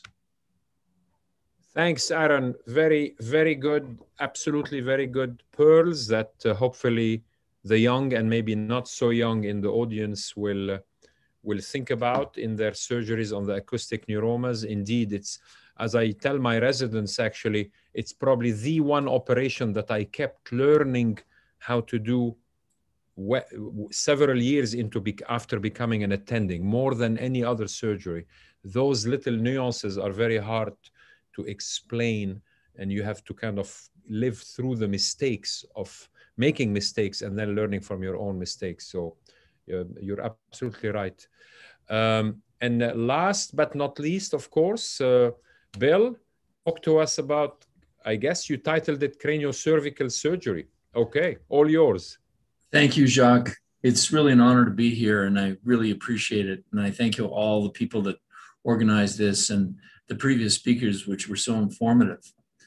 Um, I'd like to talk about an area of, of surgery that um, I think is really a challenge for a lot of people. I notice when the fellows and the, the residents, this is an area that they're least experienced with because I think it's something that we do much less frequently than standard cranial approaches. And um, uh, I'd like to talk about the far lateral and the extreme lateral transodontoid approach. And the name of the game here is really to get to pathology at the anterior foramen magnum in front of the brain stem, in front of the spinal cord, and the old maxim of removing brain or bone to avoid uh, brain retraction. And so uh, you'll have to decide how much uh, exposure that you'll need. And I'll talk about how much uh, condyle we remove in general. Um, but again, the tumor can create um, your window, as was mentioned several times by the previous speakers. And so we'll tailor um, I think Juha used the term far enough laterally, which I think is a great um, a way to describe it. So you you tailor the approach to the to what you're trying to achieve. And uh, for PICA aneurysms, usually not much condyle, but for some of the tumors, we'll take off more condyle. This is a, a modification of Fukushima's lateral position. And, and I just note that we pull the arm down so it widens up this uh, angle here and then laterally uh, flex the neck a little bit. And then we'll go ahead and uh, choose an approach, a far lateral approach, and an incision tailored to what we need to do. So I'm going to show you uh, the little targeted approach that I use and the technique that I use. And um, it's a little more challenging than using the big flap, which a lot of people do routinely. And we use the big flap, and I'll show you when. Um, but basically, the key to the operation in, in the way I do it is to identify the transverse process of C1. And it's where this um, triangle of muscles, this deep triangle of muscles lies. And the idea is that you have three layers of muscles in the neck. You have your superficial layer, your middle layer, and then the suboccipital triangle, which identifies the vertebral artery for you. Okay. And the lateral aspect of the triangle is on the transverse process of C1. And to find the transverse process of C1, you can feel it on your own head. If you're thin, you can feel the tip of the mastoid, and one centimeter below that, you'll feel the prominence or the transverse process of C1. And here it's uh, diagrammed in this cartoon, but the uh, superior oblique and the inferior oblique attached to the transverse process of C1. So you make your incision, you dissect through the superficial layers of muscles, the middle layer, and then you identify the transverse process. And that then is your guide to the vertebral artery in the J groove. Um, so you, you disconnect the muscle from the T piece posteriorly or medially. So you bring the muscle back, and that gives you more lateral exposure. And then, of course, you identify the vertebral artery. Um, this is the opening that I use, um, usually just uh, along the lateral aspect of the sigmoid sinus. We do a retrosigmoid opening as well, uh, and then drill variable amounts of the condyle, as I'll describe, and then open up the dura just behind uh, where the vertebral artery enters the dura. This then gives you a good visualization of the extradural and intradural vertebral artery. And then um, you then drill the condyle uh, as much as you need. And when we drill the condyle, we drill the medial part of the condyle much more than laterally because the name of the game is to get the bone, the bone off next to the dura because that's what's actually limiting your view. The lateral part of the condyle is not limiting your view. It's the medial part of the condyle. And if you want to, you can go ahead and find the hypoglossal nerve, and I'll show you where that is. But we look at the CT scan beforehand and try to identify where the hypoglossal canal is and the distance from the joint, the occipital C1 joint, and you can measure up how many millimeters, because it is variable in the vertical dimension, and we published on that. And then roughly the joint approximates the angle of the of the hypoglossal canal. So the young people always are struggling trying to find the hypoglossal nerve. It can often be covered by a venous plexus as well but it roughly approximates the angle of the joint. So if you find the angle of the joint, then you can find the hypoglossal canal, uh, which mirrors that. We'll remove the lateral aspect of C1 and then um, go ahead and then remove as much condyle as you need. This is just a little technique that I use to uh, prevent pseudomeningocele formation and also um, the CSF leak through the wound. And this is just something that um, I modified from Fukushima's originally uh, uh, description of this, um, but we'll use fat just like we used to close uh, endonasal approaches with. And this is I'll show you the technical aspects of the operation using this case. So here's a woman with a large foramen magnum meningioma. She's going quadriparetic. And you can see it's a little bit biased to the right. And so we'll use a right far lateral approach. Uh, so we put the patient in the lateral position. And then we'll prep her leg out for fat and fascia if we wish. And here's this targeted incision that I'll use. And the epicenter of the incision is usually just over the transverse process of C1. So here we've done the deep dissection of the muscles. We'll do a suboccipital uh, craniectomy and then drill out um, the region next to the, uh, to the condyle. You have to spend some time uh, clearing up all the soft tissue over the condyle. Remember, the vertebral artery shows you where your condyle is. It comes around the condyle. And then we'll remove um, the lateral uh, uh, lamina of C1 and expose the V2 nerve root or the, the cervical nerve root of C2 here. C1 runs adjacent to the vertebral artery. Then we'll open up the dura just behind the vertebral artery. Now, what you can see here is the, I'm going to show you, this is the uh, spinal accessory nerve, obviously. Here's the dentate at C12. You can open that for extra room. And what we're going to do is we're going to open up the arachnoid over the tumor. This, this operation puts you right on the tumor and debulk the tumor. Because what we want to really be careful with is the, is the posterior aspect of the tumor and its interface with the brain stem and the spinal cord. And I'm always paranoid about uh, interfering with the anterior spinal artery in these cases. And so I'll show you a few tricks that I use to try and avoid injury to that. So we'll expose the arachnoid, we'll loosen up the spinal accessory nerve. You can put some lidocaine on that nerve. It, it dulls it down so it doesn't, um, the patient doesn't jump if you accidentally bump it. And this is quite a vascular tumor. So we'll go ahead and um, remove the center of the tumor with an ultrasonic aspirator.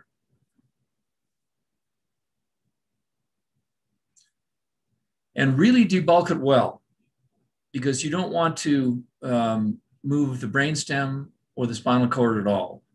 Now, what you're going to see here uh, is you see one aspect of once we start dissecting the capsule, I'll identify the anterior spinal artery, which is sometimes very difficult to see, but you can see it right there. Okay. So we're going to be really careful about manipulation of that. Okay. And so here we'll remove the capsule and then ultimately remove it right down to its attachment on the foramen magnum.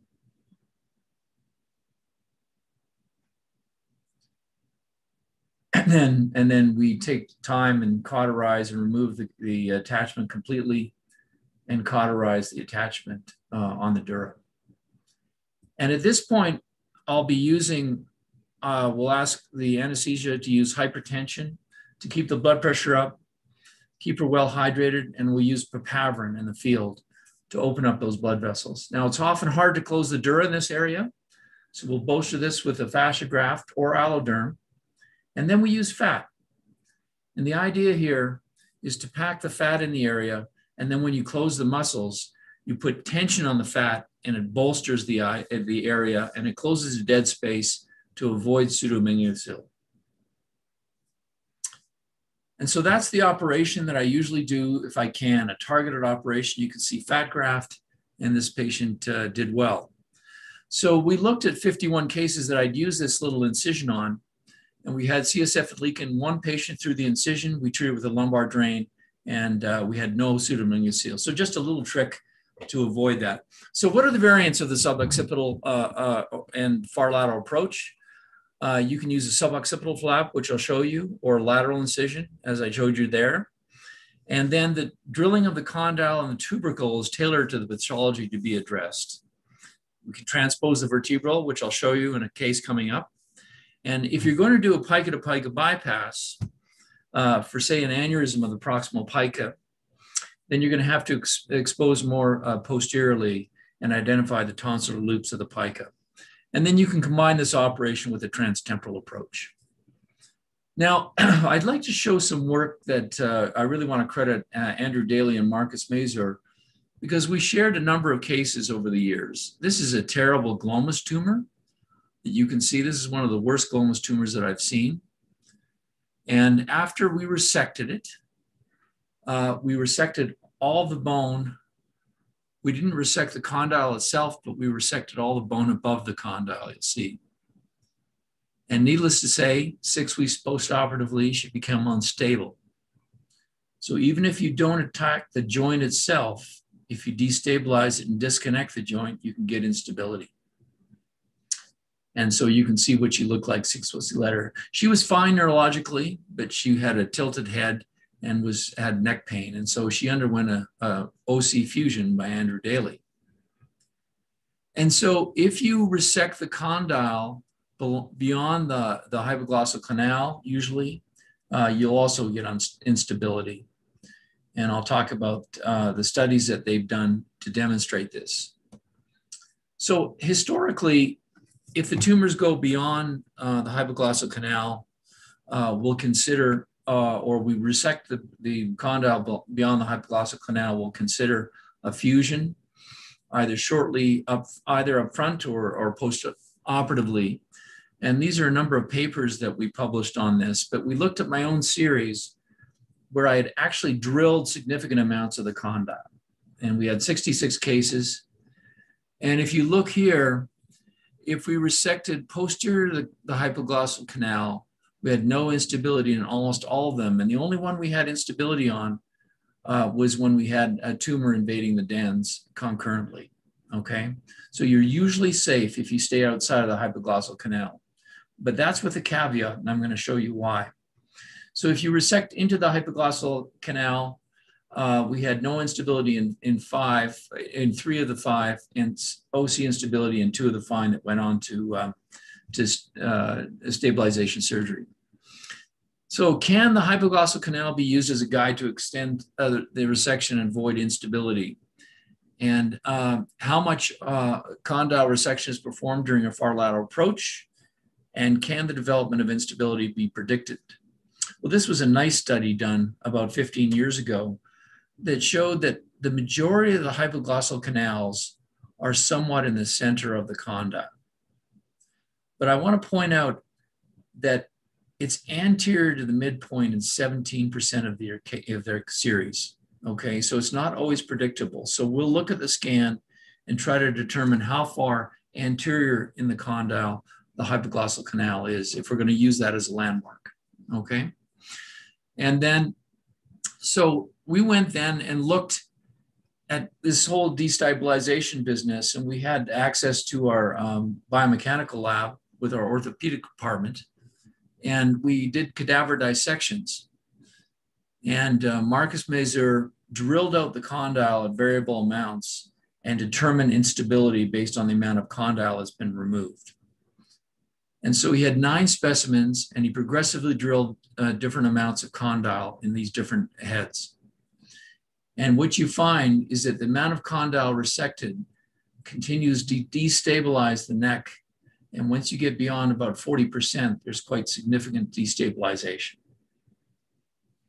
And then they did stiffness and axial rotation studies as well, and lateral bending.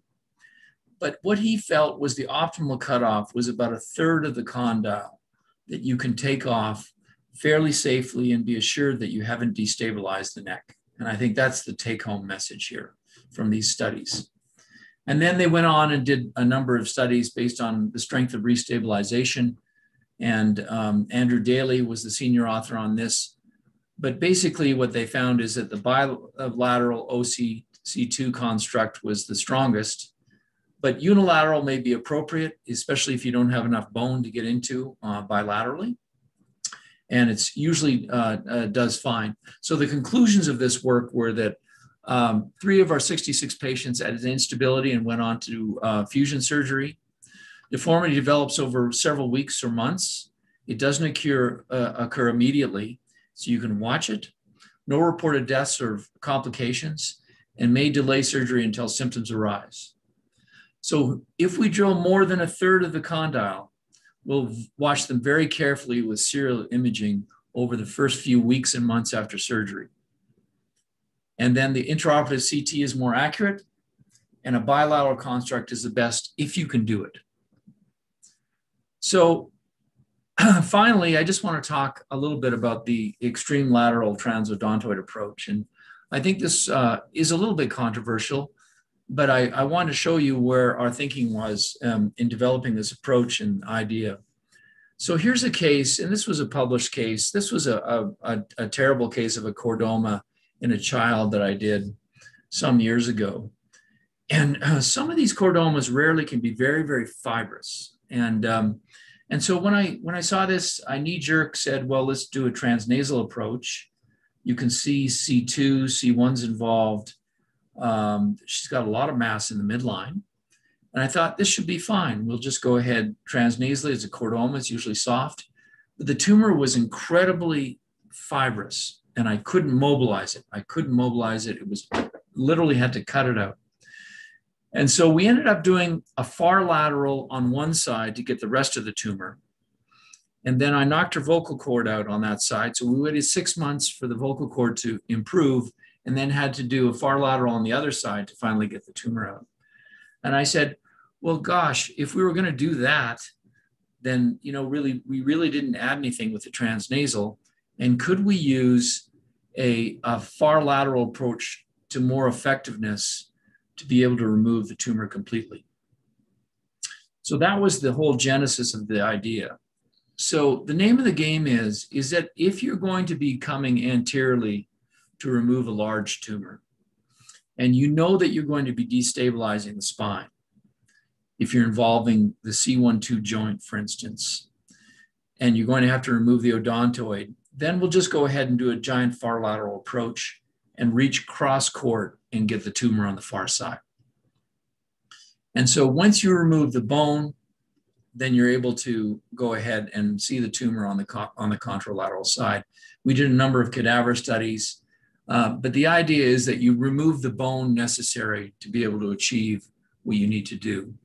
And I'll just demonstrate it on, uh, on this very dramatic case of a young girl uh, with a giant chordoma, one of the worst ones that I've ever seen. Um, she had three months of nasal obstruction, dysphagia, and uh, weight loss. And her imaging showed all this bony destruction of uh, the clivus and this giant uh, chordoma uh, that we thought may have gone intradurally as well. So 10 years ago, I probably would have done a trans uh, oral or transnasal on this initially, but we'll use the extreme lateral transodontoid approach in this case. Now we'll use the giant uh, hockey stick flap in this case because we're going to need to go midline to be able to fuse the patient at the end of the surgery. So it's a simple matter. You just make the big flap right at the superior nuchal line, and then you expose uh, uh, the vertebral artery running in the J groove uh, of C1. And so we'll go ahead and remove the bone of the uh, of the of C1, the lamina of C1, and we're going to move the vertebral artery out of the way this in this case. So we'll transpose the vertebral artery from C1 and you can, we've done this on cases, I've transposed the vertebral artery down to C5 in some cases in the neck, and it's fine. You just mobilize it and then you put it back gently and tether it when you get uh, at the end of the case. But once you've transposed the vertebral artery, then this gives you a beautiful window to look anteriorly. So we'll go ahead and gently put a vessel loop on the um, vertebral artery Here's the lateral mass of C1 and the condyle here.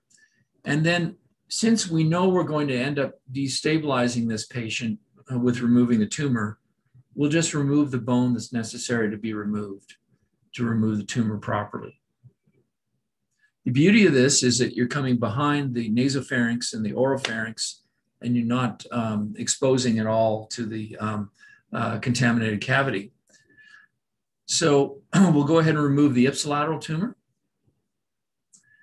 And then you'll see us remove the odontoid, and then we'll remove the contralateral tumor. The hypoglossal nerve you have to pay attention to, and we've drilled it out from the canal. We'll remove the odontoid. We use image guidance, usually a CT image guidance for this operation. And then I like to, once we remove the tumor, I like to drill the bone in a supramaximal fashion to drill into normal bone to make sure we've got good margins around the tumor. So we'll remove the tumor on the contralateral side, and you're able to usually see the carotid artery on this. And in some cases, I've seen the vertebral on the other side as well. And then remove all the tumor from the soft tissue.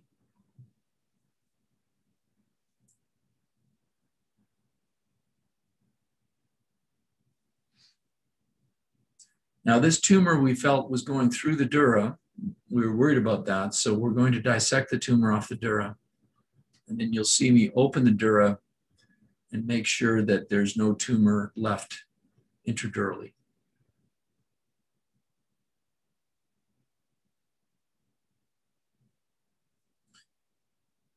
You can see the spinal accessory nerve.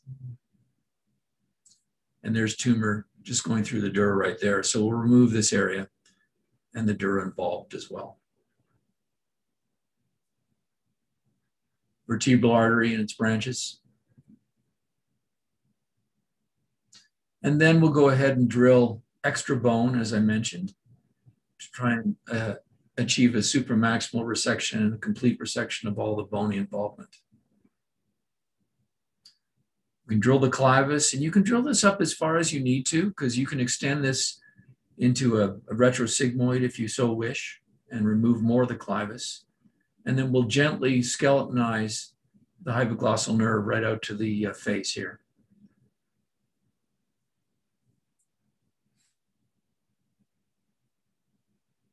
And then we'll go ahead and uh, after a tumor is removed, we'll close. And um, she was very thin, so we'll put some we'll put some fat in here. She didn't have much fat to donate, and um, and then we'll remove and put the vertebral artery back in its native position, and then go ahead and close. And then you can see, I think um, we didn't, uh, this took most of the day, this case, so we didn't do a fusion uh, at this time, but she was brought back a few days later and uh, Andrew Dailey did a occipital cervical fusion. And you can see your post-op scan.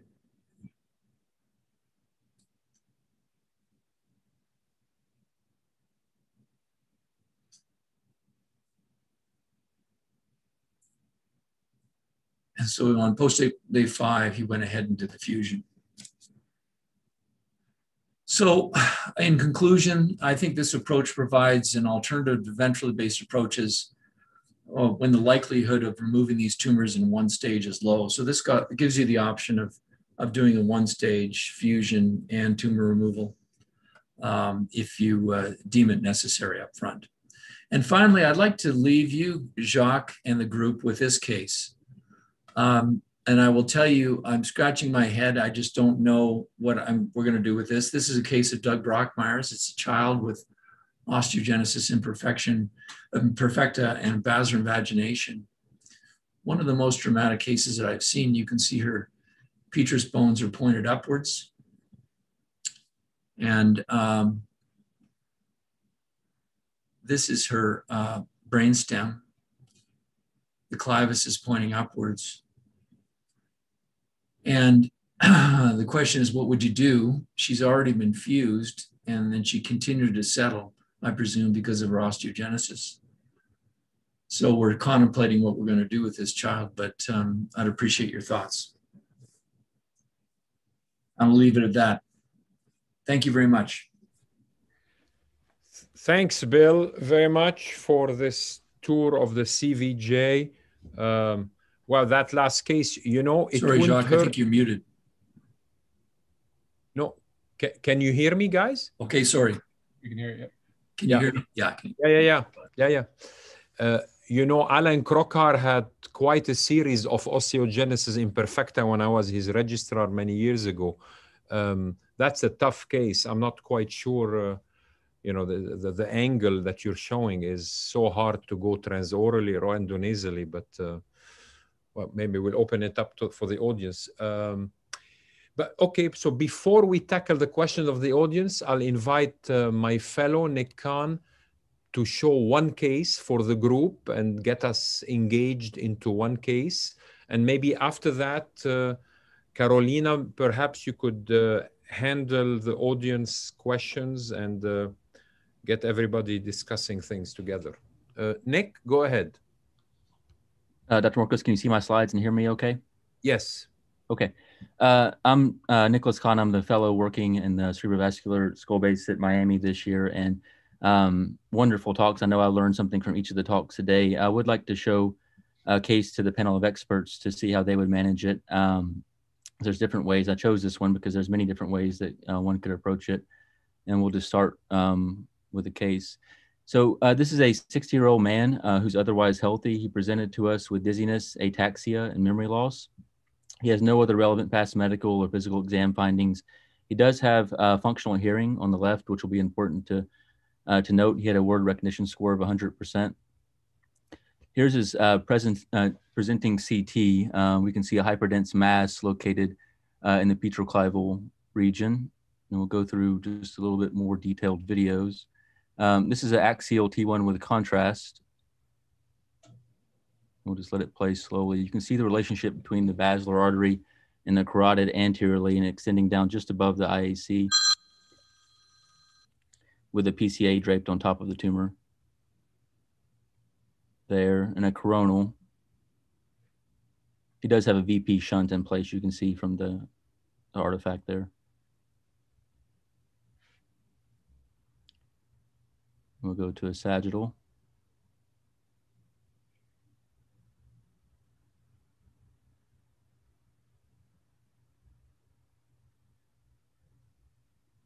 And lastly, a T2 just to better understand the vasculature.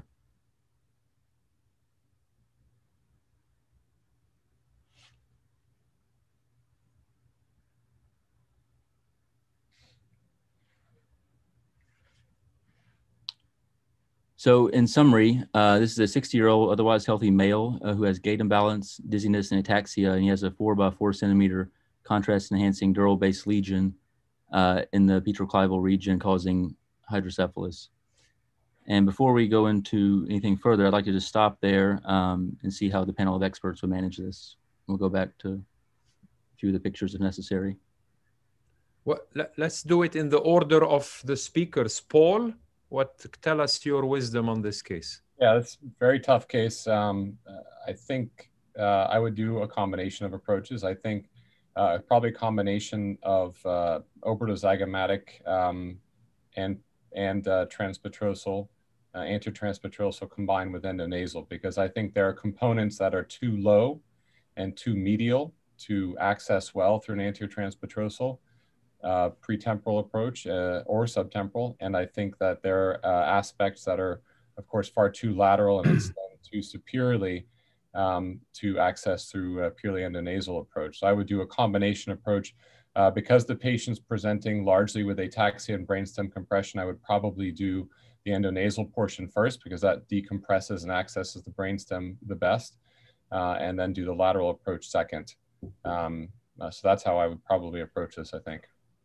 Uh, Paul, is there any role for embolization uh, at, uh, at your institution for these meningiomas? Uh, I don't think so. Uh, I think that the major branches of this come off the internal carotid.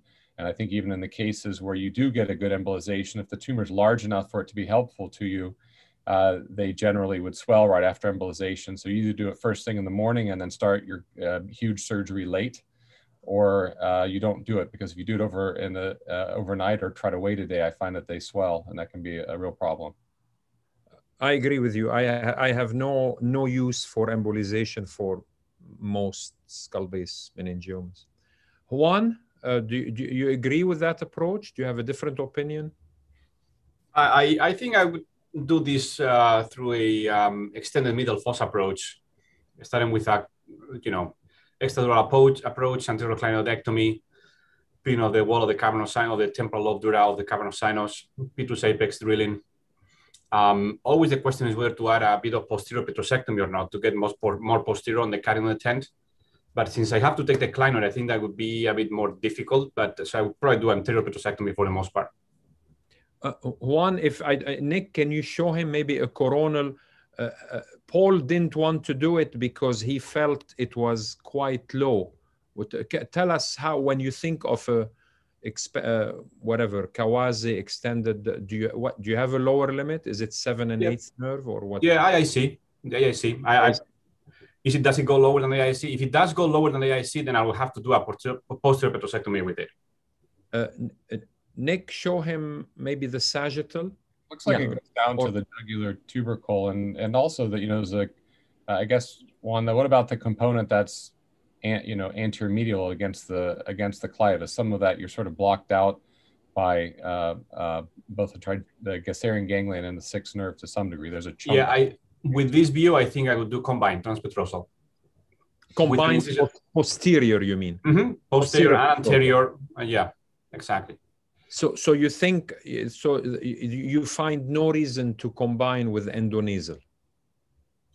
Um, I think you can do it, and um, but uh, oh, I know you can do it, but I mean the question is, you know that you know we have a young audience who I want to kind of you know they're going to hear different, and many of us giving different opinions. I think it's very important for them to understand, not necessarily for us to agree, but to, the rationale behind each of our choices. Uh, that, that's what I want to make sure they they get out of the the, the whole session in general.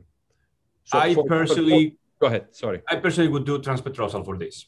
Okay. You know, I've, I've come to like the approach. I work with Jack Lord here at Stanford. He's a phenomenal ENT partner. We, we can do the approach quickly um, and we can do it in one single day. And I, I think is what I would do. I think endonasal is perfectly valuable to do. You can do one stage endonasal, decompress the retrochiasmatic, retroinfundibular, transclival approach, and then come later and do a lateral approach for that. That's another option. Okay. But not the one I would do. Aaron, do you still have audio? Are you with us? Yes. Can you hear me okay? Yes, sir. So, what? So, uh, tell us what you do. You know, I've done a number of these, in fact, of these petroclival meningiomas with more um, sort of extension into the basal cisterns and supratentorial space.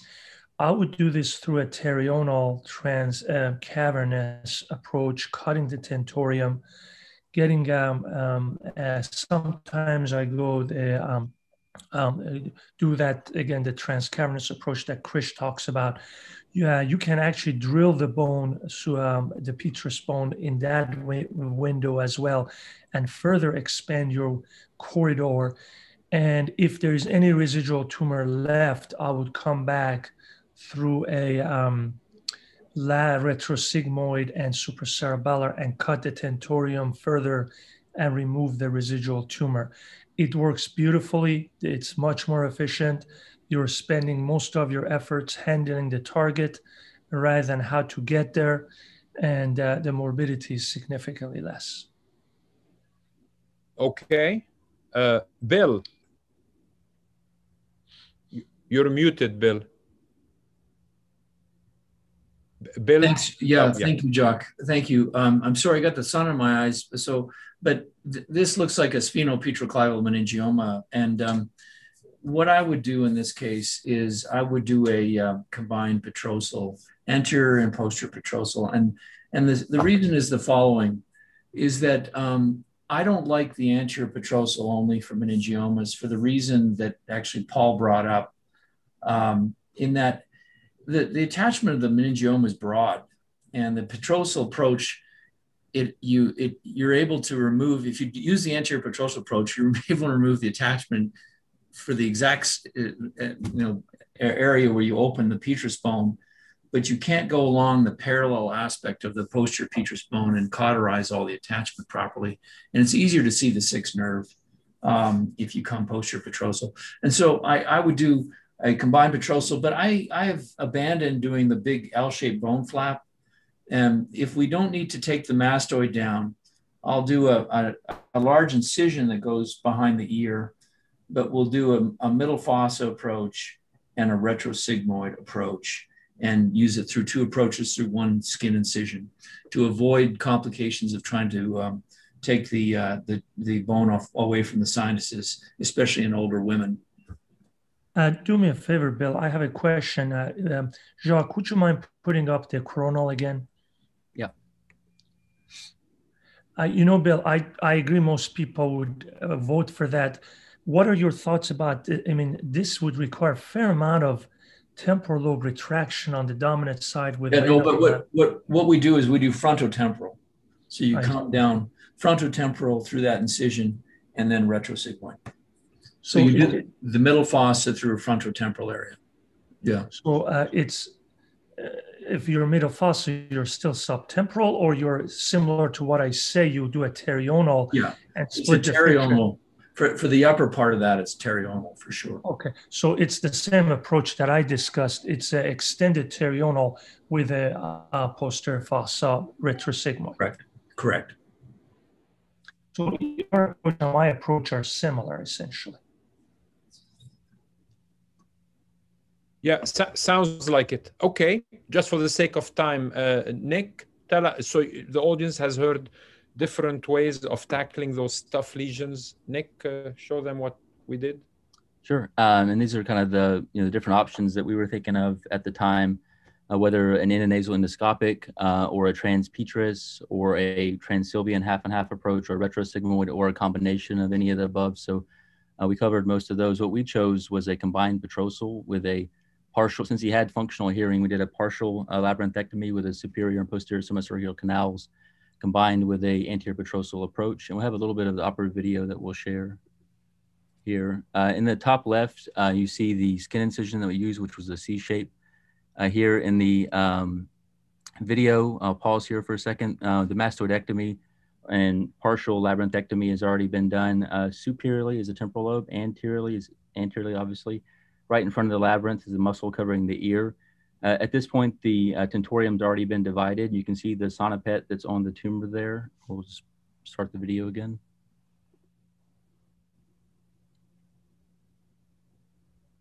We'll fast forward a little bit through this. Um, so this is a view where you can see uh, Meckel's cave, V3, and trigeminal nerve coming out of the brainstem, as well as the posterior fossa dura from the anterior petrosectomy.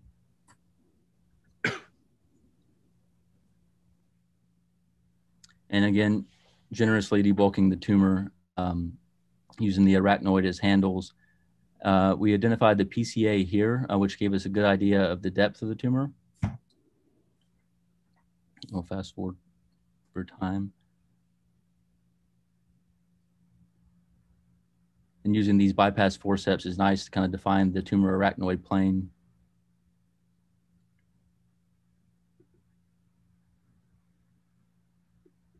We eventually identified the PCOM connecting to the PCA um, and the ICA, which was a nice landmark to kind of trace and divide the tumor in half. This is a large piece of the posterior component of the tumor. Now we really have the anterior component and the superior component that are that are remaining.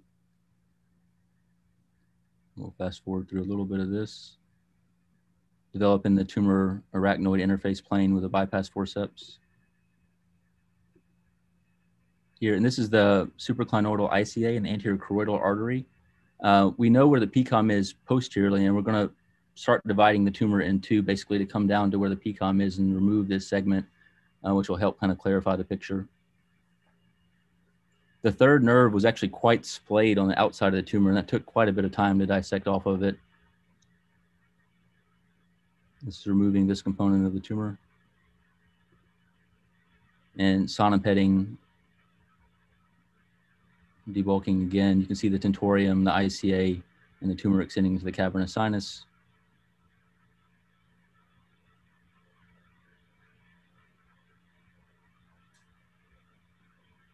This is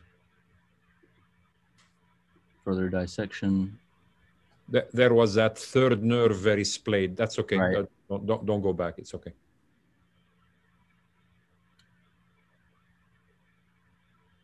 Nick, you can fast forward through yeah. it. Yeah.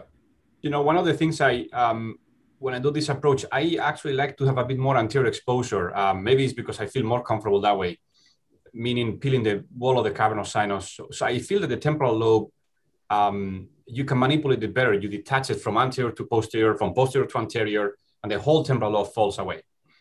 Um, so you require a more anterior incision and more mobilization of the temporalis muscle all the way down. Yeah, yeah, I agree. I sometimes do that. I, you know, I did. You, you, I, I exactly understand what you mean. I, I, I would have done. I think that what I did was kind of, I had enough exposure to do it. No, when you're good, you can do it with a smaller exposure. Uh, I just like to have a bit more exposure. I feel better that way. Yeah, it's it's proportional to gray hair, uh, Juan. well, I'm getting there. But I'm I'm I'm willing to switch positions with you any day. Uh, Nick, oh, yeah, show them the anatomy here, Nick. Yeah, so this is, uh, I'll rewind just a little bit and let it play. Um, so once this piece comes out, you can see the SCA, the PCA, uh, the tentorium, the third nerve, and ICA, as well as the tumor going into the cavernous sinus uh, there, which shows a little bit of the anatomy uh, depicted. And we'll just kind of fast forward to the end here. Yeah, take us yeah to the end. Yep. Uh, this is just the the mastoid defect. We did take a fat graft, and we ended up putting a piece of titanium mesh over this at the end. Uh, here's the postoperative CT just showing some of the bony work here. So this is the anterior petrectomy, posterior petrectomy. We drilled retrosigmoid to allow the sigmoid sinus to fall back once the tentorium was cut. And you can see the titanium mesh uh, that was present there. And this is just the corridor that each of those um, bony uh, drilling uh, gave us. Uh, this is the pre and post op. Uh, the T1 hyperintensity is obviously the fat graft um, that's there on the right hand side of the screen and axial and sagittal. Uh, the patient uh, did well post-operatively. He did have a fourth nerve palsy and a partial third nerve palsy. Uh, the fourth nerve palsy is still present. The third nerve palsy is improving. He went for a short course of rehab, but he's otherwise discharged and doing well. so, so you know, I thought, Jacques, yeah, no, I just go ahead, go ahead. Sorry. You, yeah, can you just tell me about the um, interface with the brainstem because that's the critical aspect of this case. Yeah, it was tough on the arteries, you know, Bill. That's why you know I've I've for a while now I've been using my I'm not going to mention the company's name, but those bypass forceps, I love them for tumor dissection. You know, the same ones I use for bypass. It's such a fine thing. Um, I, I, I, the, it's really the best instrument for this. Just yes, tedious, very tedious, as you can imagine. The, on the arteries, not on the pia of the of the brain stem. On the arteries, it was tough. Yeah, I must say for the young audience, you know, this this approach actually takes you so close to the tumor. That sweet angle between the anterior and posterior petrosal that you drill, it takes you right to the attachment of the tumor, just below five, and it gives you perfect view. Um, it's so, you're so close to the retroinfundibular space, and you don't even know. Right. So we, we, we're going to channel Sam Al Mefty in saying that well, it's not not quite, but makes it a convexity meningioma. I wish that was true, but it's it's halfway there, you know. Um, okay, just uh, anything else, Nick? You want to show? Did you? No, that was it. Correct. Okay. Now, Bill, you said something so interrupt. You said that you are leaving the island covering the sigmoid sinus to prevent tearing the sinus. yeah, if, if, if, so, sometimes we'll do the equivalent based on um, on the tumor, if we're not planning to drill the mastoid, um, then we'll do a, a you know a frontotemporal approach and a retrosigmoid through the same incision effectively, and that way you avoid the risks of peeling the bone off over the transverse sigmoid junction, usually in older women. But Bill, but I what I love is that this the Petrosal approach, you know, yeah. takes you on the tentorium. So sure. Yeah. You know, I well, but we'll just yeah. yeah, we'll decide whether we think we need that. I agree with you because it gets you closer to the attachment of the tumor as well as the cerebellum falls back with the transverse sigmoid junction if you divide the tentorium. Absolutely. But I guess it, it depends on the tumor. It depends on how much you think you need. Jacques, do you ever stage these uh, combined petrels, especially for such a challenging tumor, so you're not dissecting tumor at you know eight o'clock? Yes, later? Yes, I, I, I used to never stage them, and I used to start my part, to be honest, 3 p.m. after the neurotologist and various, uh, you know, colleagues would operate. In recent, well, this year actually, I've probably staged two or three of them. It started. I used to say, "Ah, oh, what's this nonsense staging them?" It actually works better to stage them. Absolutely. And I again, I encourage younger people isn't that your preference too? Yeah. Strongly. Yeah. Do yeah. you keep them intubated overnight? Do you, what do you do with DVT prophylaxis? Do you give them a heparin overnight or you don't? Uh, oh, I never skip heparin for any surgical case. I don't know what this hesitation is nationwide. Uh, do you? I mean, I give. I never skip a heparin dose perioperatively on anybody. I mean, post op day one, but post op day one, but you would do it the night of surgery. Post op day zero. Mm-hmm. on every single surgical case I have, again, there is no added incidence of hemorrhage. Couple of papers suggesting you can do that. Um, yeah. Uh, now, if it's a retrolab, I'm not going to stage it because retrolab is a little faster. But this was a partial translab, so it's like really a translab. It takes them longer. Do you, Jack, when you try to when you stage it, do you take a peek of the tumor to see if it's soft first, or you just don't open the no, dura? Don't be. I don't want to. I don't want to open the dura. It's messy. You know. Of course, I, I know. I hear you. Yeah. Yeah. no. It tempts you too. I find it te- as soon as I open it, I'm tempted all of a sudden, regardless of the day. Exactly. well, so, some of us, uh, Paul, are stronger willed than you, so it's okay. It's, temptation is nothing, but that's okay. okay, listen, uh, Carolina, are you Carolina? Would you mind uh, telling us what the audience uh, and and please feel free to engage the panelist with yeah, your sure. question or the audience questions. So, so the residents all start heparin on post-op day zero. All the hemorrhages just happen on my patients. His patients do great with the post-op day zero. so, all right, we have some really good questions from the audience here. So let's start with um, Juan, maybe you can you can talk about this. Um, there's a question about how to prevent hypopituitarism due to mobilization of the pituitary gland, and um, Paul answered it a little bit. But I think it's a good question that a lot of people probably want to hear more about. Okay, so I mean there are several different ways of mobilizing the pituitary gland. The classic one, which is the intradural one, basically you just take the pituitary off the sella. That is the one that has the highest risk. Uh, but usually I do it only for what we call intrinsic pathology, meaning craniopharyngiomas tumors of the stalk, like some gliomas in the hypothalamus that we might do, or uh, pituitary think of that by themselves carry a very high risk of pituitary dysfunction. If I'm doing um, a different pathology, chondrosarcoma, chordoma, uh, meningiomas, I will go through the cavernous sinus, and then is what we call a trans, uh, an interdural uh, transposition. So you mobilize basically the middle wall of the cavernous sinus. So the, the pituitary, and you can do it bilaterally and the pituitary is protected and it still has venous drainage. In those cases, they, when we publish about this, the incidence of dysfunction is minimal, really. Great, thank you.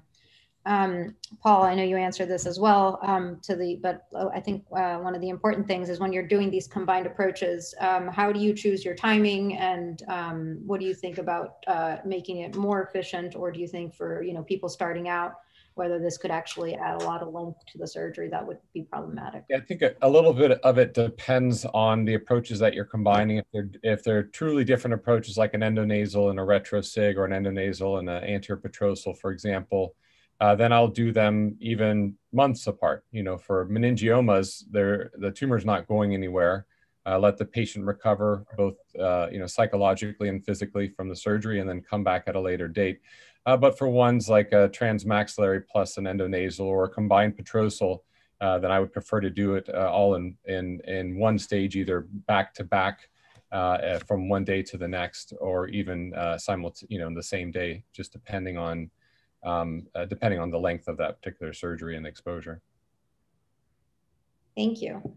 Um, is Dr. Cohen Gadol here, Aaron? You still on, or is your audio on? I am here. I am here. Um, somebody, uh, one of the audience members was asking, how do you manage if you have facial nerve injury during surgery? Um, I guess I'm not sure if they're talking about transection or a complete injury, or if they're just saying if you're not getting stimulation, or perhaps you can speak to what if it's really stuck to the facial nerve, then at which point do you choose to stop and how do you sort of guide that? Because then you can, like you mentioned, go on to radiosurgery. So where, what, in terms of your clinical or surgical uh, decision making, um, how does that change intra-op for you? Yeah, good question. The goal is always um, functional preservation. So if there is a piece of tumor very adherent, we leave a piece of tumor behind. Most often you can't even see it on the postoperative MRI. And we just follow it and we go from there. If the nerve gets transected, we try to primarily sew it together. Most often you can, then you need the interposition graft that's obviously is a very unexpected, um, unusual situation when you have injured the nerve. And um, however, most of the time, either the tumor is gross totally removed or we leave a piece of tumor on the nerve and follow it. And uh, obviously, we never sacrifice function since the radiosurgery has uh, uh, demonstrated durable results in the presence of small I think we lost you. Uh, I finished talking. Oh, no, he finished talking. Oh, okay, sorry.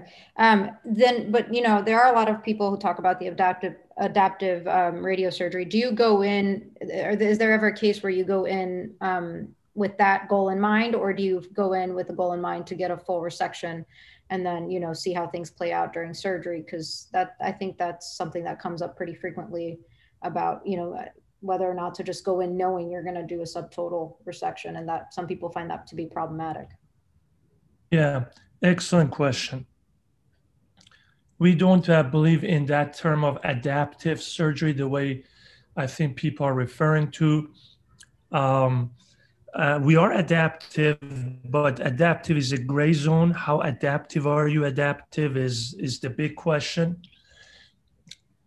If you're talking about I'm going to go and do a glorified biopsy and core out the tumor and leave the capsule behind, which I have seen people defining as adaptive, that won't accomplish anything. That won't change the radiation dose or the margins.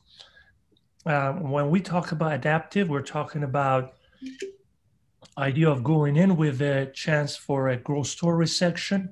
However, if we find that the nerve is very adherent, we're talking about leaving an almost indetectable small piece of tumor on the nerve on the postoperative MRI. That's the definition of adaptive. It's not about coring out the tumor and leaving um, the same size and volume of radiation after surgery. All right, thank you.